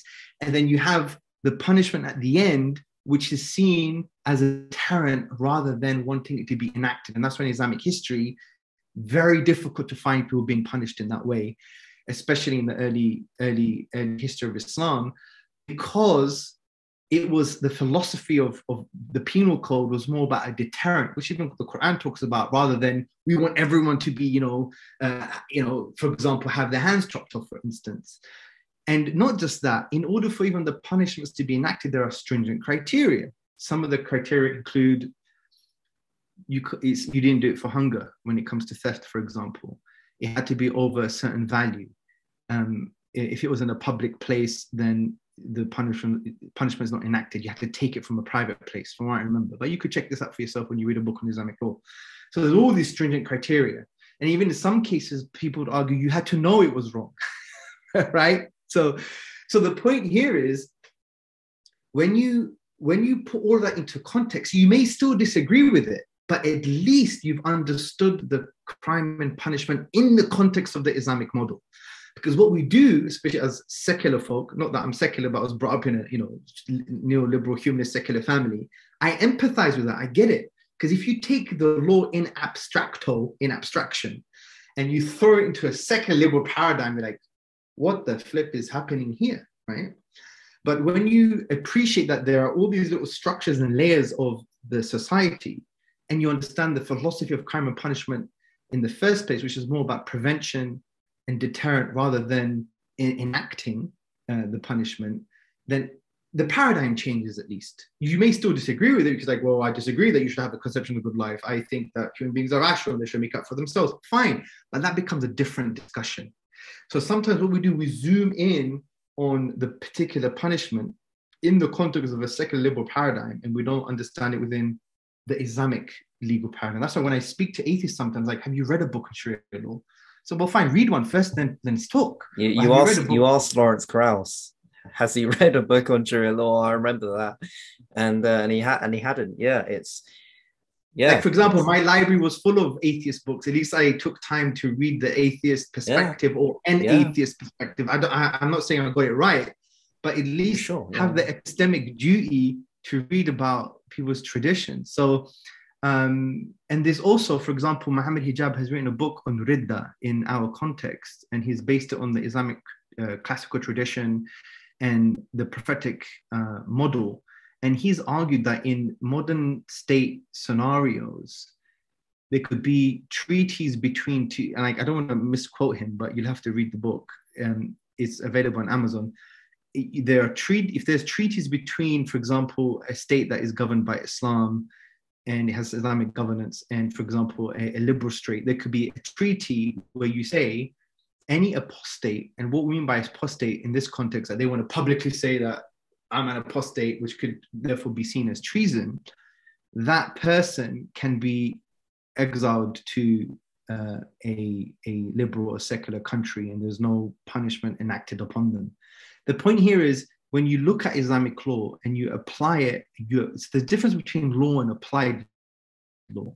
So the whole point of Islamic scholarship is to apply the law in the context that we find ourselves. Right. Now it could be the same as it was applied a thousand years ago, or it could be different, but it depends based on the context. And that's why things like you know state treaties can come into play here. There's so many other nuances, and that's where I would draw the line and basically say, I'm not a legal jurist.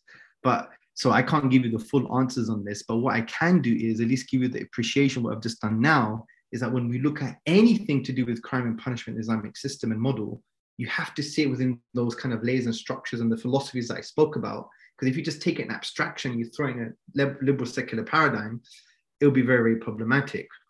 And it's also about understanding our conception of tolerance, right? There is no such thing as a boundless tolerance. No one's going to say that. I mean, any liberal secular society would understand that too. And we would argue, well, where do you draw the tolerance boundaries? And what, what is what you call the maslaha and mafsada? And this is Islamic ethics. What is increasing the well-being for the collective and decreasing the harms for the collective? Mm-hmm. And when you look at Islamic law in the context that I've just discussed, it just increases the well-being of the collective and decreases the harms, uh, the suffering for the collective.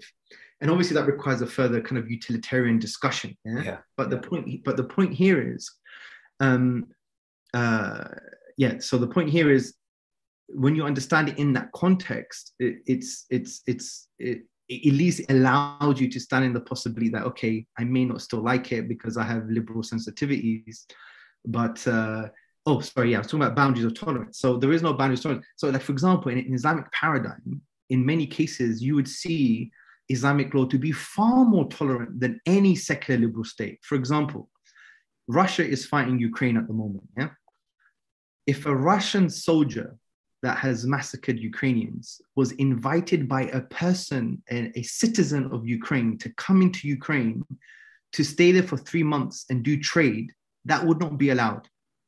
That won't be allowed. In Islamic law, that's allowed, which is phenomenal. You could read, he, he comes from a Christian background. His name is Wael Hallaq. He wrote the book Sharia Law. And he mentions this is unprecedented tolerance, something like that. Basically, it's called anyone from a state that's governed by uh, Islam, an individual citizen can invite an enemy combatant, right, who's engaging in warfare at the moment, invite them to, I don't know, the empty room or house next door or something, and say, why don't you come here for three months and do some trade and go back? That's allowed in Islam, right?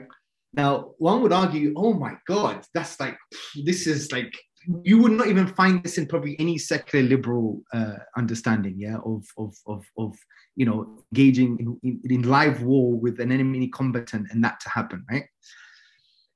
The reason I'm mentioning this as an example is just for you to stand in the possibility that where we draw the tolerance boundaries, there may be some similarities between different ideologies, but there could be s- certain differences as well. And really, and in reality, those differences exist because of the fundamental intellectual foundations of the tradition. Like, you know, let's be honest, bro. In a secular liberal society, generally speaking, religious minorities, if they want to express themselves as themselves, as they truly are, it's going to be very hard for them to be part of mainstream society. Why am I saying this? Because under secular liberal structures, generally speaking, and there are uh, exceptions, generally speaking, religious minorities are accepted practically and socially as a secularized and liberalized version of themselves. As a secularized and liberalized version of themselves. There is a dominant culture. They have to become a subculture within the dominant culture. And that is a kind of collective subconscious intolerance to a degree. Mm-hmm. Now, interestingly, with the Islamic paradigm, if you look at the Ottoman history, yes, there were there were toler- bound- the boundaries to tolerance, but you know, it's unprecedented. You had Islamic law allowed Jews to go to the rabbinical courts, Christians to go to the Christian courts, and they could they could chose to go to the state courts, which were the Islamic courts. And if you look at the Jewish historian Amnon Cohen, he wrote a book, um, A World Within. It's a two-volume book. He collected, I think, 19th century 1,000 sijill records, okay, of the Ottoman uh, legal um, legal documents. And as a Jew, he concludes that the Jews had the freedom to go to the rabbinical courts, but many of them went to the Qadi, the Islamic courts, to the point, if I remember correctly, Jewish women would go to the Islamic courts and complain of maintenance, right? Now, this is not me saying it. This is really, it's, it's got a, a world within the documents these are historical documents. Now that was a, that was allowed to happen because of a particular conception of tolerance and allowing a minority to express themselves to a greater degree than they can in liberal secular societies. In liberal secular societies, you don't generally have that, right? So there was so this goes to show that yes, tolerance boundaries there may be some similarities, but there are also some a lot of differences. And the reason mm. those differences are there because they come from a different source, and Muslims say they come from the divine, and that should be the real discussion. Now, I know this is going off on a tangent, but I want to give you that conceptual framework in order for you to continue your journey to understand that it's not as simple as saying, "Oh, that's a law, and I'm going to apply it in my own secular liberal context," and boom.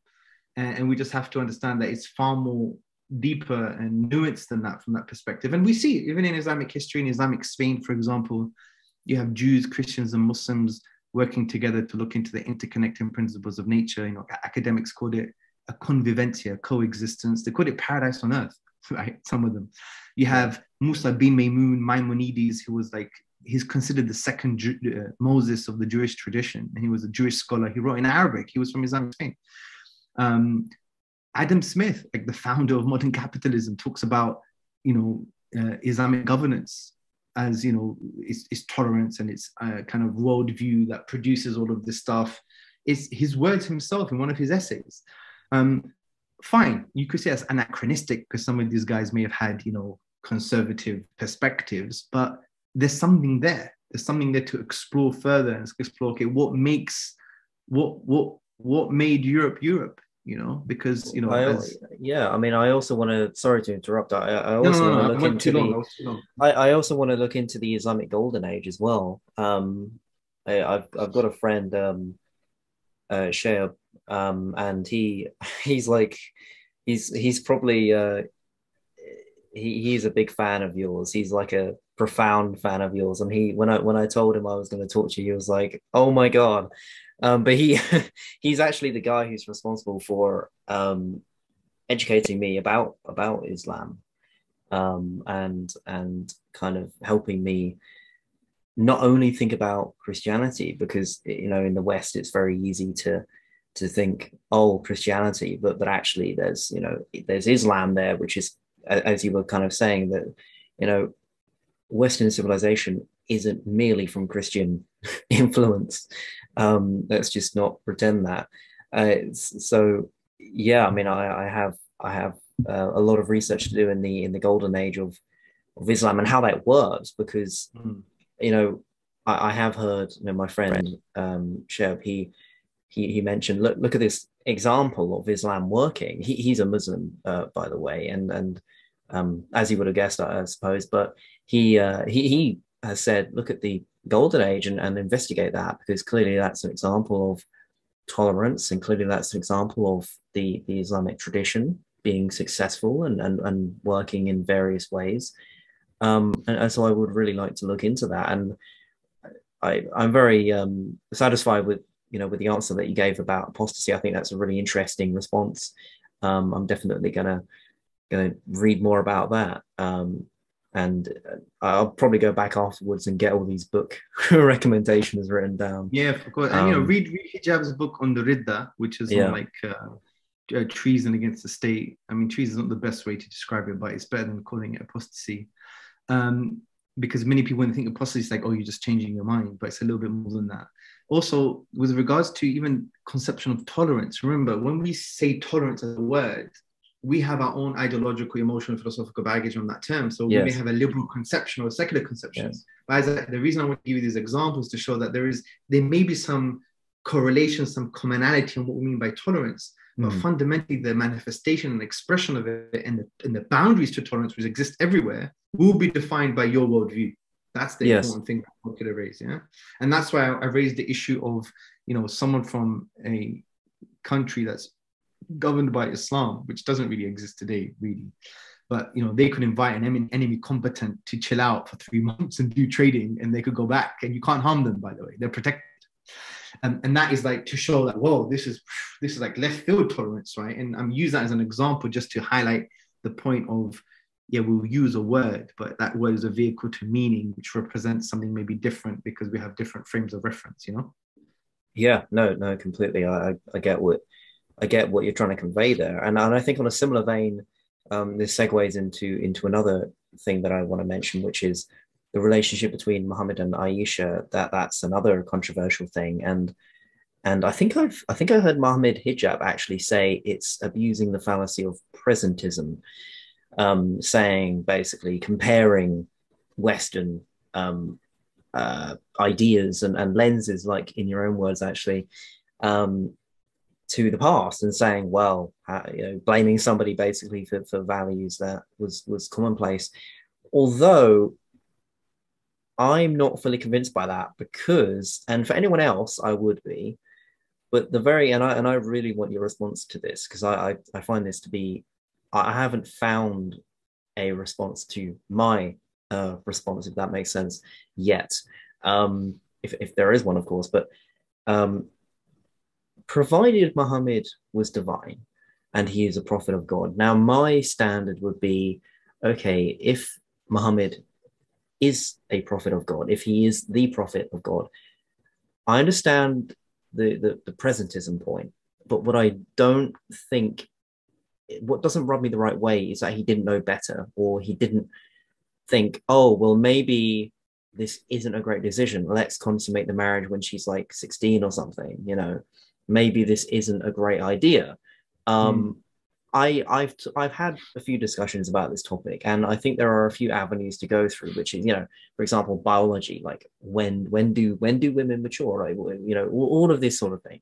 Um, but I guess I guess that's what I'm trying to um, you know ask you basically. What do you what do you think of that? Do you what do you think of my analysis of that?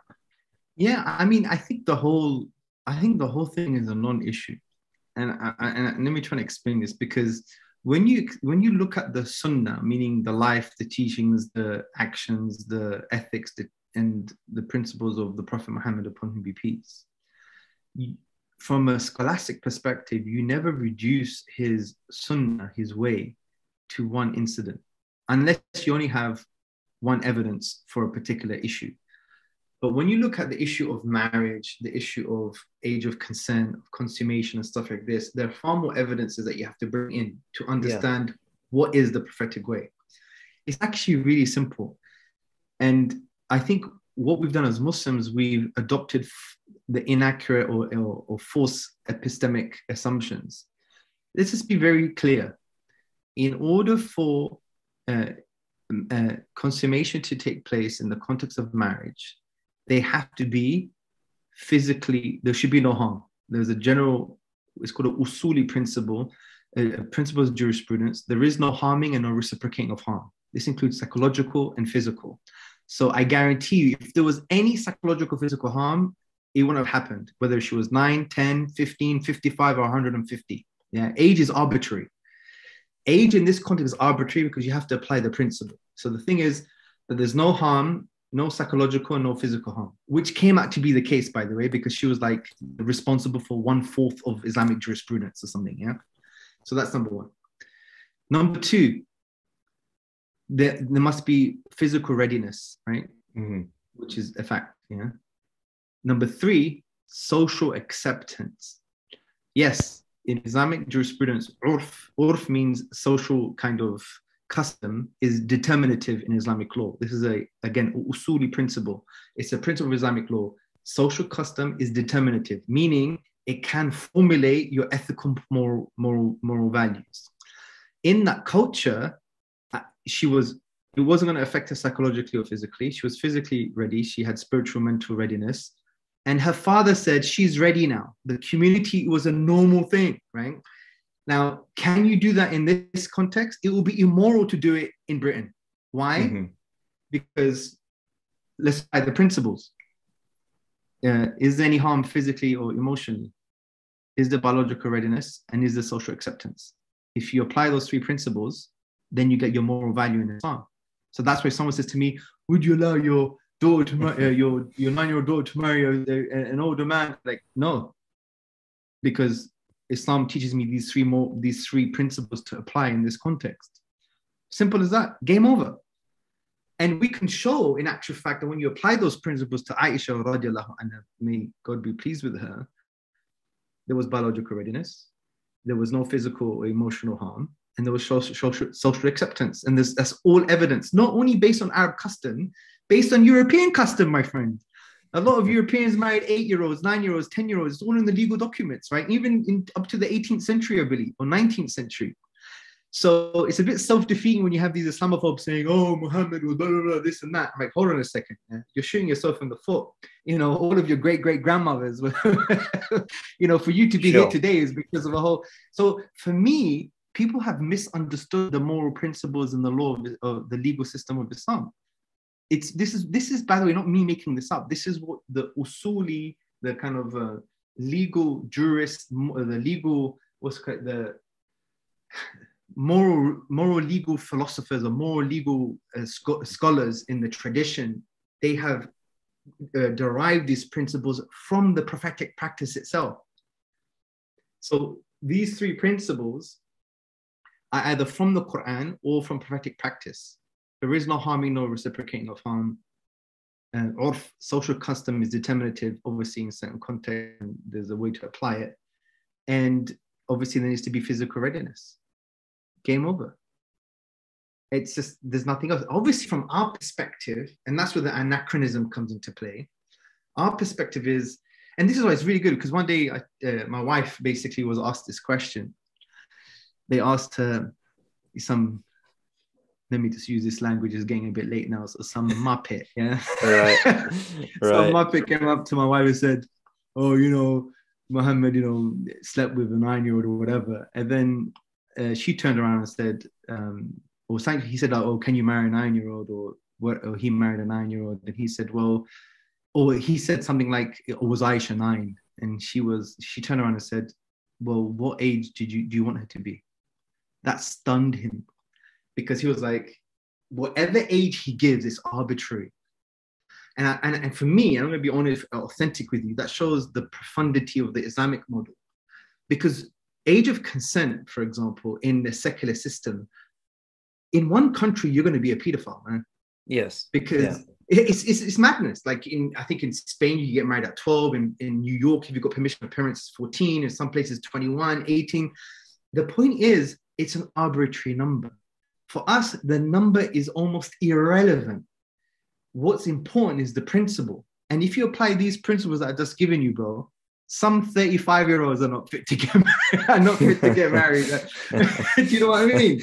Sure. Yeah. Yeah. So like, like some me, people aren't, uh, you know, like like some people aren't uh, good to have kids or, or whatever. You know, there, yeah, there are certain sure. parameters that that so that makes a parent. yeah, it's yeah. very principle based and it's not arbitrary because when you always put a number to something or an arbitrary figure then you're going to end up with inconsistencies. And i think it's far more important to be principle based is there that social acceptance? Does it is there harm psychologically or physically? Is there biological readiness? These are really good principles to apply. And generally speaking the average kind of number might be 19 18 17 21 who knows but it's it's it's it's it's specific you know and this is the moral legal reasoning of the islamic tradition. So given that is the case i don't even see this as a problem man. Like literally i don't see it as a problem. Yeah because i i mean I, I definitely see what you mean in terms of there's more context to this that there's there's principles to actually to look at here. I suppose for me um the, the consent thing is important. Um like to, to what level you know developmental stage can someone give consent? And i think that's more of a subjective question than than than people make it out to be. Um because it, you know uh, you could say consent of a 30 year old is, is is imbalanced for example. Um, somebody might not ha- be in the right headspace to make that decision or or, yeah, sure. or function you know in, in, a functional level not just in a um, a, te- a temporal one. Um, well, you um, should you should ask that question to the people who are you know ideological you know this whole ideological trans movement that you have eight year olds who have gender dysphoria yes and they think just by virtue of having gender dysphoria they're allowed now to be on a journey to fundamentally do irreversible changes to the biology uh, you know, I don't see the people who've been complaining about the age of Aisha complaining about this. Yeah, we need to be consistent, right? For God's sake, they can't even vote. They can't even, you know, today's eight-year-old, by the way, yeah, maybe eight-year-olds a thousand years ago are different because the social context is different. But the they would be more developed, I'd imagine. well, yeah, that biologically that has been the case as well. They, they were more developed for yeah. sure because of the food, the kind of environment, uh, for sure. But the, but the issue I'm trying to say here is, you know, this interesting issue of consent. It doesn't really come up much when it comes to these ideologues, right? Um, and you know, I have my obviously, you know, position on this issue. I think it's I think it's child abuse. Frankly, I'm going to be honest. If someone's an eight-year-old and has gender dysphoria, you don't start them as an eight-year-old to start having irreversible biological changes to to to to to who they are. They, they can't vote. They can't get married. They can't smoke. They can't drink. I mean, like, mm. shocking. Like I'm a parent. I'm thinking this is like unbelievable. It doesn't make any sense to me. But the reason I'm mentioning it now is because it also goes to show the inconsistency of some ideologues. You know, when ideologues point the finger about certain issues, well, when you take the logical underlying basis of what they're saying, well, they should apply it to other aspects of their worldview, and they will see that inconsistency. You know, um, but yeah, so it's not just about context; it's literally about legal reasoning and moral reasoning. This is the moral reasoning of Islam when it comes to these issues. No psychological or physical harm, biological readiness, social acceptance. When you apply that, you may get a range of ages for people across time.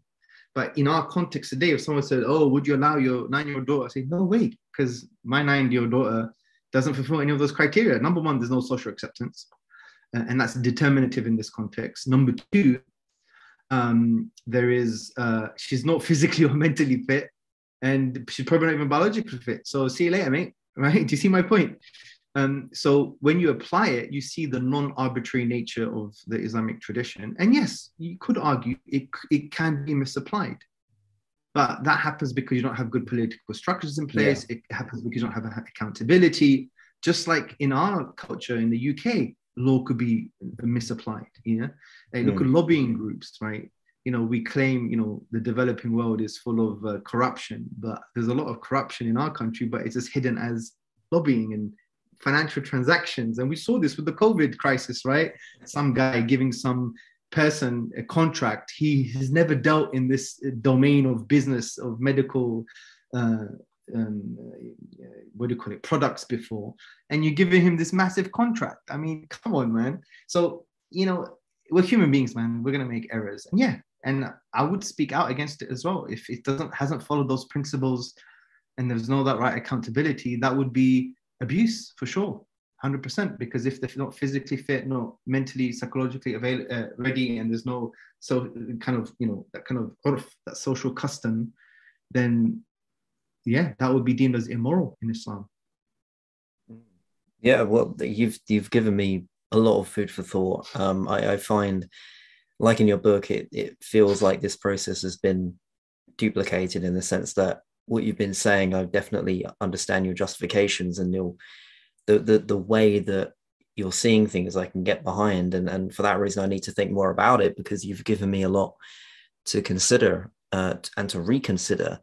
Um, because it just seems to me that on this whole religious, you know, uh, Christianity even and and uh, religion in general, there's just the, the thing that New Atheism did was made it cool to be a dissident, to made it cool to say I don't believe in God, made it cool, you know, like a Nietzsche with sunglasses or yeah, a, uh, atheism and nihilism. It's like I don't know. I mean, the implications aren't so cool, um, but I I just live with that, you know, because I have to, not not because I want to. I, am just I'm just not convinced at the moment anyway of uh, you know of the alternative. Um, in your book, you do talk about the implications of of atheism, and it's not like I don't agree. It's more, well, I, I don't, I didn't, I didn't not agree with you. I suppose it's just, it's, it's like, yeah, I get it. Basically, it doesn't look good. It doesn't look good. The implications isn't they they aren't cool. Um, you know, the whole moral thing you know, like Hitchens always got wrong. Oh, you're you're saying I'm immoral. No, the theist is saying you can't justify your morality. Like he got that wrong so many times.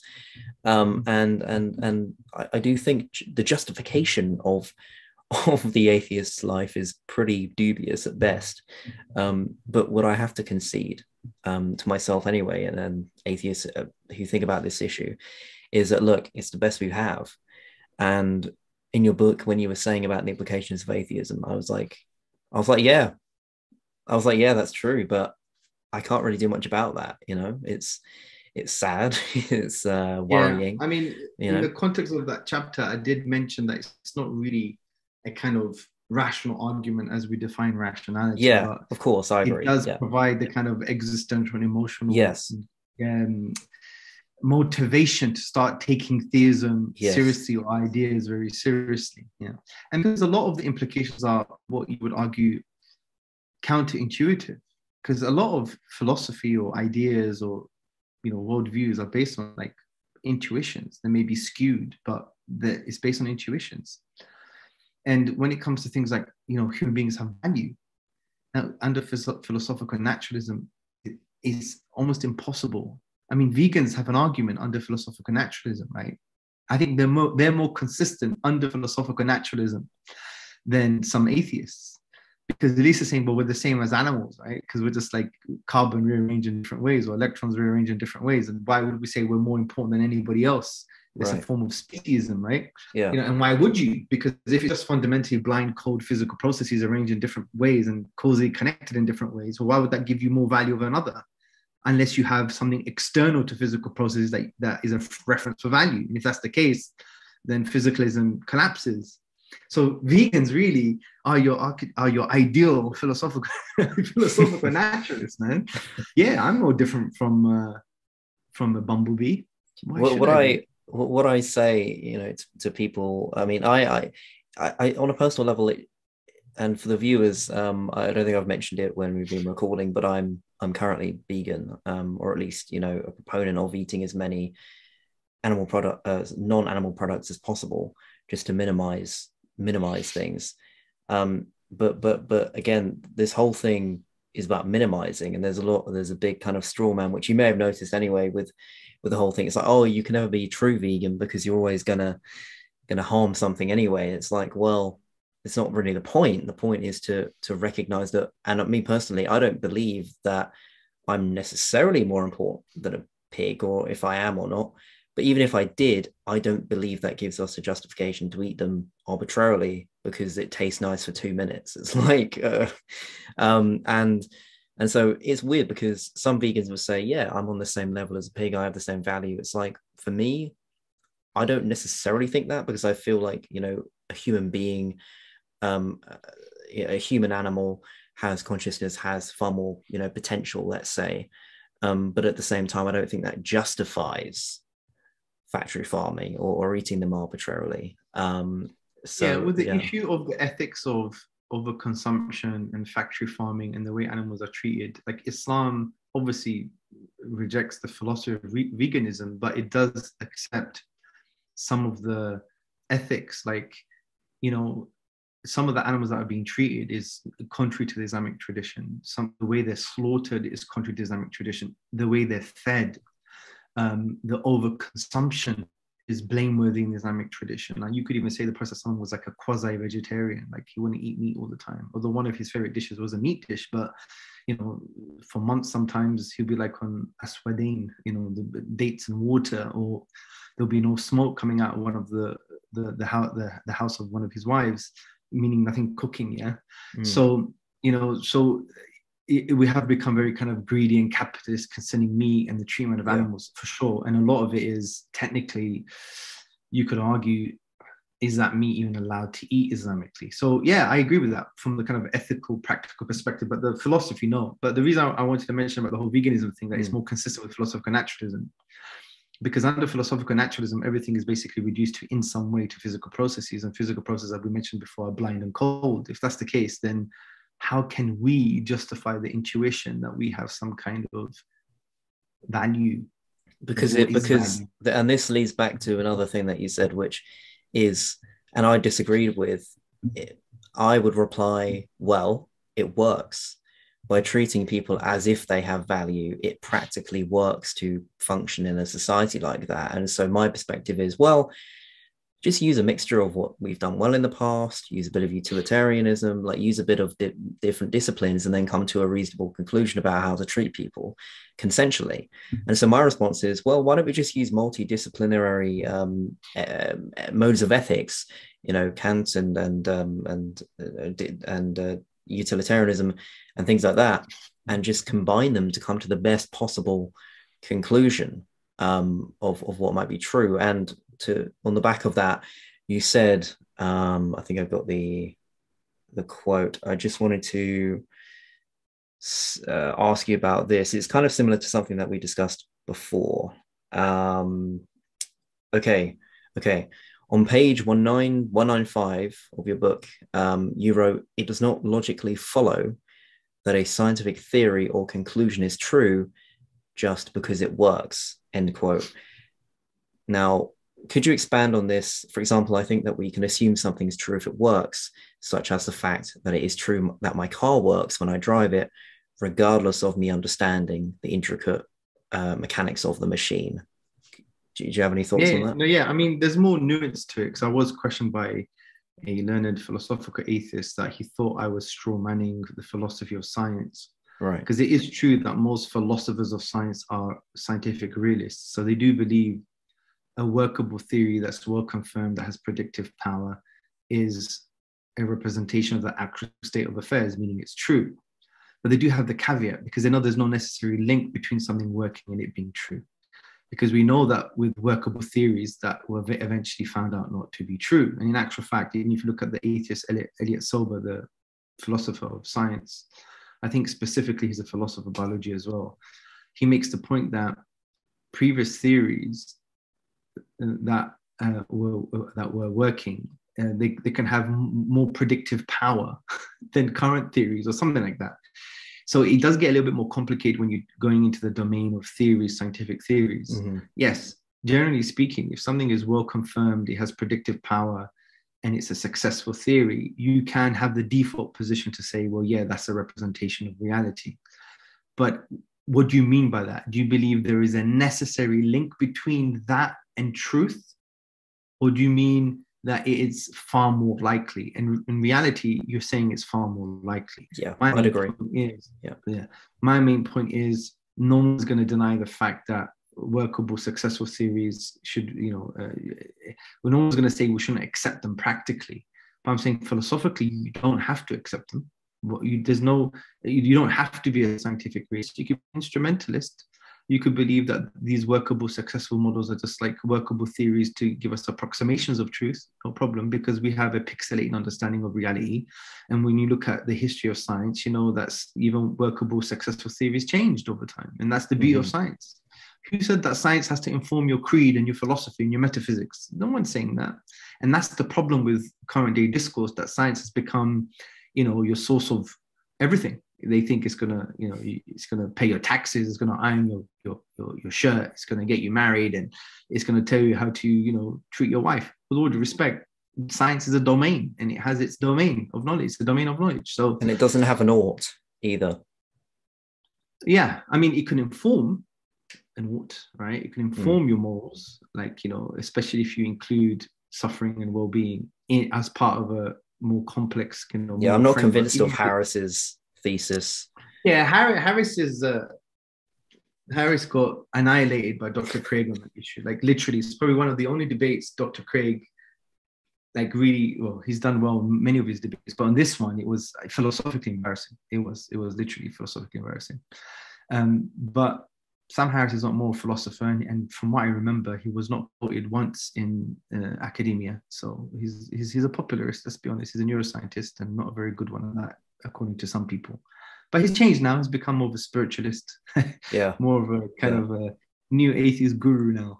Um, but look, the, the issue here is, um, yeah, so you're right. Uh, I'm going to, that chapter is going to change slightly, although the essence of what I've said, the conceptual framework of what I've said, I totally believe in but I want it to be more representative of mainstream philosophy of science. More, most philosophers of science are realists when they do believe that yes, because it works, it's actually proof that it's true as a default, but it cannot be as well. Right. Uh, but sure. my main point to show there is no necessary link, which they would agree with me because they're not uh, infallibilists. They don't believe that you know theories are infallible. Yeah. I, no, I agree. I agree with you um, for sure about this kind of. I guess it's scientism, saying like, oh well, yeah, this this is 100% like certainty you talk a bit about certainty about how yes. we, we should try try and avoid that claim of like, oh well, evolution is certain. I mean, it's it's most it's most probably very true, and and it's demonstrated to be one of the most, if not the most, demonstrated um, uh, thesis of of of science. But that doesn't mean there aren't plot holes in it, or or you know things to work. Yeah, I mean, look, evolution, technically speaking, is biological change. Darwinism is the mechanism to explain biological change, and mm-hmm. neo-Darwinism or Darwinism in general, it's not perfect. No academic would say that. There are, it's probabilistic. It has a, some yeah. philosophical assumptions, and there are some disputes on certain areas. Maybe not the main areas, but certain areas. So some of the philosophical assumptions include gradualism. Gradualism is actually a philosophical assumption that reads into the data. The data doesn't give you the conclusion; it's the other way around. So in philosophy of biology, which is a growing field, it exposes some of these philosophical assumptions. So to come across that Darwinism is like uh, the gospel truth is actually wrong. It's even Dawkins, bless him, yeah, he doesn't even say that in his book. I think it's called the A Devil's Chaplain or the Devil's Chaplain. Yeah. He actually mentions this point. He says makes a distinction between like evolution, biological change, and kind of Darwinism, I believe. And he says, look, in the future, we may get evidence that changes Darwinism altogether to the point that we can't recognize it or something like that right. or we reject it. So that's Dawkins being actually in line with philosophy of science that can yeah. you can change in the next few years. So from an Islamic point of view, if someone believes, like if you take an orthodox approach that there is no common ancestor, because that will go against the whole idea of, you know, Adam having no parents, or there's yeah, um, although some would argue there's ways to un, to reconcile that, but put that to aside for a moment, say you take the kind of mainstream Orthodox understanding that you can't reconcile common ancestry with the Adamic narrative, there's no problem for a Muslim because you could distinguish between the kind of metaphysics and the physics here in a way. Because you're fine, I believe the Quran to be true and it's a true narrative. And um, yeah, I may be a scientist and uh, yes, Darwinism mean to be, it, seems to be a, a mechanism or theory that is well confirmed, has great predictive power, and, and it has a lot of confirmations, and it's mm. a successful theory. But I don't have to be a realist on it. I don't have to say that this is this is exactly the picture of what happened. But I can practically accept it. I don't have to accept it philosophically or in my creed, you know, or my belief system. But I can use it as a model to develop antibiotics and save lives. And as God says, saving a life is like saving of humanity. This whole kind of, oh my God, you, the scripture has to be in line with Darwinism. Again, it's a very weak philosophical approach. Well, the Quran isn't supposed to be a science book, neither is the Bible. Exactly. So. Exactly, exactly. But obviously, from a Quranic perspective, if there are unambiguous statements that represent reality and we can't have multi layers of interpretation, there's only one, we'll have to go with that for sure. And even if there are multiple layers and we still can't reconcile, you have this very robust philosophical position, which is or rational position, which is God has the picture, we, we have the pixel. Yeah. Even if you're a realist, theories are not necessarily 100% true, they still can change. So if there's a friction between revelation and, and a well confirmed theory, well, revelation for you has a high epistemic status, no problem, but I can still accept the theory practically and use it because I know things work, will give me good stuff but I don't necessarily have to believe that the thing that is working at the moment is actually absolutely true. But I could still be a scientist and use the framework of Darwinism to produce antibiotics, and I'm saving lives. So I, I don't see this as a problem. It's just been uh, it's made into a problem because of clashing clashing epistemologies, I think, and not understanding. You know, I don't know, maybe not being mature about the whole thing. People thinking it's a weapon to bash religion. It's, to be honest, not really. It's not a problem at all for me. Yeah, I mean, the, the I, I, find it's kind of a, a false dichotomy to kind of put the, I guess, using science to disprove or, or to even indicate towards the divine is is is kind of asking the wrong question because the divine is quite literally beyond the material realm and so to use material apparatus to investigate it is not really the right idea um, theoretically speaking, anyway.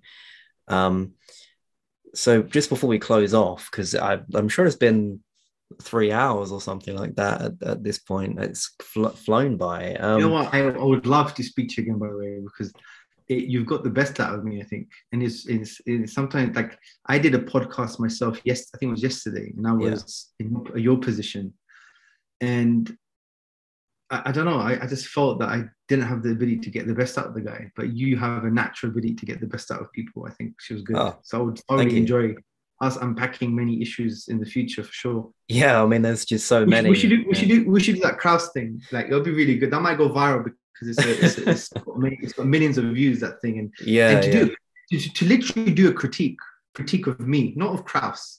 That would be powerful. And I really yeah. wanted to do that anyway because you know when human beings are on their journey, like if you look at my social media over the past 15 years or something, I've made some crazy mistakes, right? And hopefully I've shown people that I've gone on a different journey as well. So I'm gen- generally quite nice on social media. I'm a nice guy. I try and be empathic, understand context. But before that, you know, I was on a journey, and uh, even the things, you know, I sometimes I look back and I cringe, man. My kids use that word. That's so cringe. Yeah, so yeah. I look at myself and, and, and, and, cringe a bit. I think it's probably a good sign because if you don't look back and cringe at yourself, maybe there's been no progress. But I want to do that as a service to the community, both the atheist community, the agnostic human beings in general, to let them know that yeah, I made some mistakes. I would have improved on this. This was silly. This was wrong blah, blah, blah, blah, blah, blah. And just give that as a service to people to say, look, this is how I would upgrade the discourse in certain senses. Because I have a duty of care. Because you know, when you're in a position of leadership, and this is some type of some form of social leadership because you have influence, um, you need to tell people what you've done wrong and how you should improve it. But anyway, go on. You said before you close. You, you come across as a as a human being, which I think is is the best possible outcome of, of what you could do or, or come across as you know, because a lot of people might want to just kind of push it behind them and and and uh, not address it. But I feel like in your book and here and in other sort of videos, you, you are very open about about certain mistakes that you might have made. And and to me, that's you know, because I you know I've got videos from like I don't know two years ago or something, and I just had a very low resolution idea of what I was talking about, and mm. and you know that is that that is irritating to me. But at the at the end of the day to me it's progress you know. And and i guess mm-hmm. that's the it's a gift but also a curse to have yourself um i don't know cremated in well i don't know. It's frozen in time whatever whatever word um frozen in time because you can kind of go back and learn and, and see see things uh, i so uh, when i mean because when you were talking to um, Mohammed Hijab, you, you were kind of well, he joked around saying you're on a what is it? You've retired or something from from debating. I, I, I do want to ask because I do think you know everything that you said today and, and your insights are, well worth. I mean, I know that you that you have the Sapience Institute and you do obviously write and you do these things, but um, are you are you thinking of debating Harris at some point, or talking to Jordan Peterson? Or there's a history. You know. There's a history with Harris actually, many years ago, and it's a good thing I didn't debate him because I was not in the position to do that. Maybe, maybe. Yeah. Uh, this was a few years ago now, uh, maybe eight years ago. I don't really remember. I think it was before Krauss, uh, or maybe just after. Um, we had a Twitter exchange, or he was called in to a Twitter exchange. Then after we ended up emailing each other, and he said, Look, I have a debate on you, a written debate though. We'll have a debate on, you know, he wanted to talk about apostasy and laws and stuff like that. Right. I said, Look, this is not my view. He said, Look, I'm very well grounded. I could give you all the schools of thought or whatever on this issue. I said, Look, you know, these things are dictated by our philosophical foundation. Let's discuss. I said, Look, he said, No. I remember he said, No, discuss with me these issues and they could lead to the philosophical stuff. I, at that time, I didn't want to fall for that trap. It would have got really messy based on his narratives at the time but he seems to have, you know, slightly amended his public uh, persona. Yeah, I'll, I, look, I'll have a discussion with anyone. If you want to ask people that you know to discuss with me, I will. But it would probably be of this nature. You could make it formal. I'll make it formal too. But when it comes to the Q and A or to the crossfire, I'll be as authentic as possible and conceptual like this to try and inspire what I think should be the truth. And that's it. I mean, I'm up for it. I mean, in actual fact, after the Krauss debate, not many people wanted to debate me anyway. I remember when there was a debate arranged in South Africa with a, an academic there. He agreed, but then when he found out it was me, he, he pulled out and started saying all nonsense about me on radio or whatever. You know, I don't know. I mean, maybe times have changed. You know, they've probably seen my persona change as well. You know, I'm supposed to be a PhD student now and I wrote a book and I lead an organization. So they probably think that, you know, this guy's not going to be naughty. He's got too much to lose or whatever, right? Um, but hopefully, I think my persona has come across as authentic enough to show that, look, I'll have a discussion with you. If I don't know something, I'll say I don't know.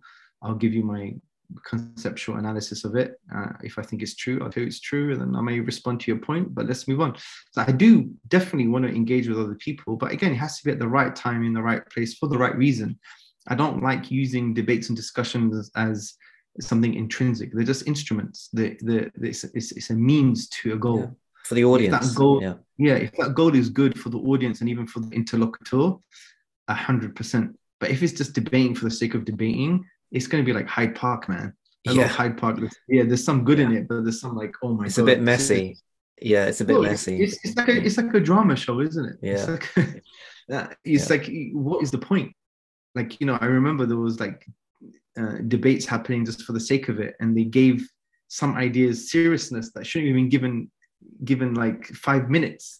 But just because you have that mindset of yeah, I'll debate anything, and you know that's like a projection of your ego Mm. Um, but yeah, so absolutely anyone, Cosmic, Rationality Rules, Dawkins, Harris, and if it's not a topic that I'm good at, I wouldn't take it, of course. Yeah. If well, I, I think I think you should reach out uh, because I'm sure that they that they that they want to talk to you. I mean, I, I when I when I was um, you know revisiting your your stuff, like you know your your debate with uh, Lawrence Krauss, and I I was very surprised because as i said the first time i watched it was years ago. And then i mean throughout the you know throughout the years i've revisited revisited. But when i did a recent one i was like where are your discussions with like you know loads of other people? Like how because to me I, I was just genuinely surprised that you weren't in engagement with with harris again or or you know at all or or um uh, Matt Dillahunty, like I, I, was surprised, and I just love to see. I mean, yeah, I mean, like you say, I do agree that if if it was for me, if the format was like cross examination, kind of like a conversation, as much as a conversation, less of a formal debate, then that's my preference, as I've said before. Well, I know and a I, guy. I know, I know a guy. You might know him.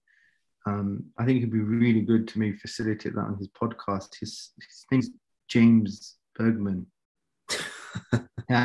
maybe you should arrange something. It'll be a good conversation. Yeah, why not? Why not? It'll give you a podcast profile as well. Say, look, I know Hamza, we had a really good discussion. Why don't you come on board and I facilitate a conversation? Maybe you could do that. If that's your project that you want to pursue, then go for it. Uh, that's my way of trying to empower you, you know, get you get, get these conversations going. But yeah, look, no, I think they do need to happen. Islam, Islam is seriously not talked about enough. It's it's ridiculous, actually. I mean, how many debates? As I said, Hitchens, like there's only one uh, uh, Tariq uh, Ramadan that's one. Um, I can count them on my hands how many like um, engagements, uh, you know, of debates has been Christian versus uh, Muslim, Muslim versus atheist. Like, I mean, prominent prominent people in this field. I mean, it's just it's unheard of. Um, and to me, that really wasn't helpful for me learning about Islam because the way I learn is, you know, through reading and through watching debates, and I, I just didn't have that many to go off of. Um, so I think it's something that we need more of. I mean, the one with Cosmic Skeptic and Mohammed Hijab, you know, just more more of that, just more Islam, more of those discussions.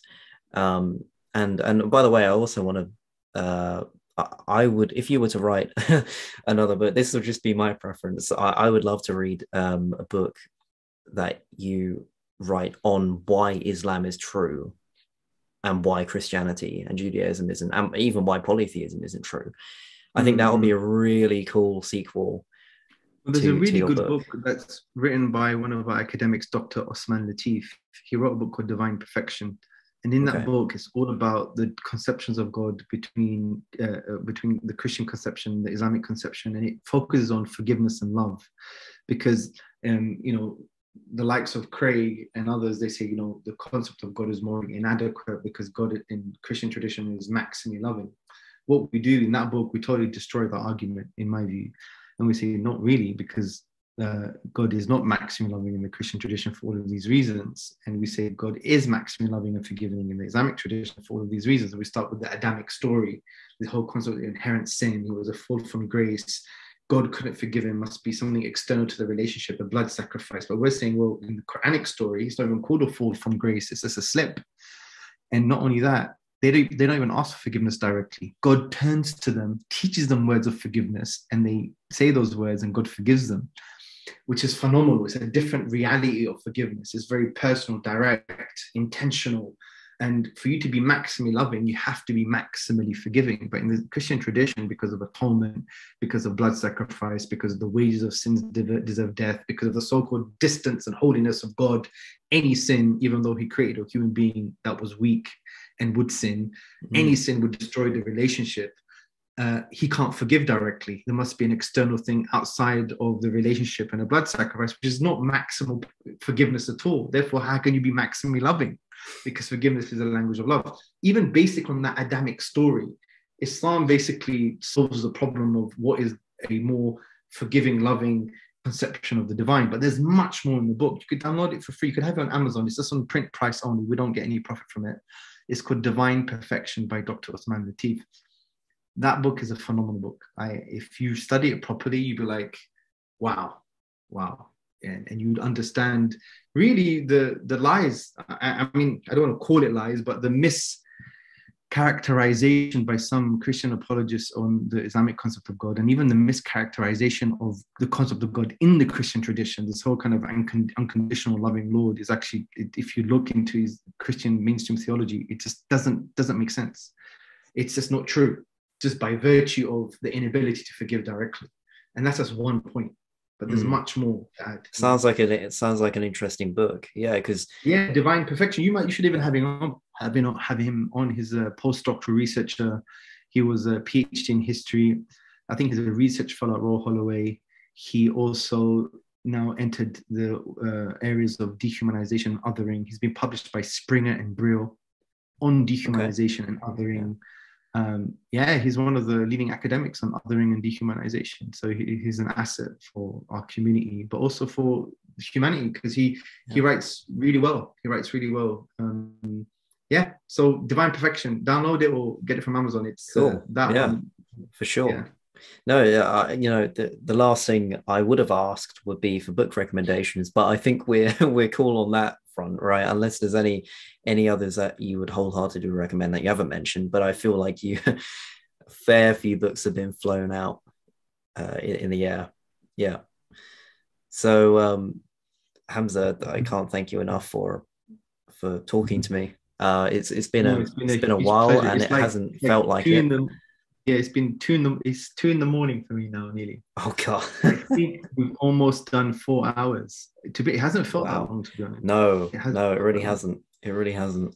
I there's just there's just you know so much I wanted to ask, and and you know your answers have just been so in depth and and very appreciative of that. We should do this another time for sure. Yeah, and then the Krauss thing as well. That that'll be that'll be very interesting to to pursue. Absolutely, yeah, be cool. I'm at your service, my friend. Thank you for having me. I'm uh, happy to have you on. All right. Well, until again. All right. I'll see you. Thank you. Bye.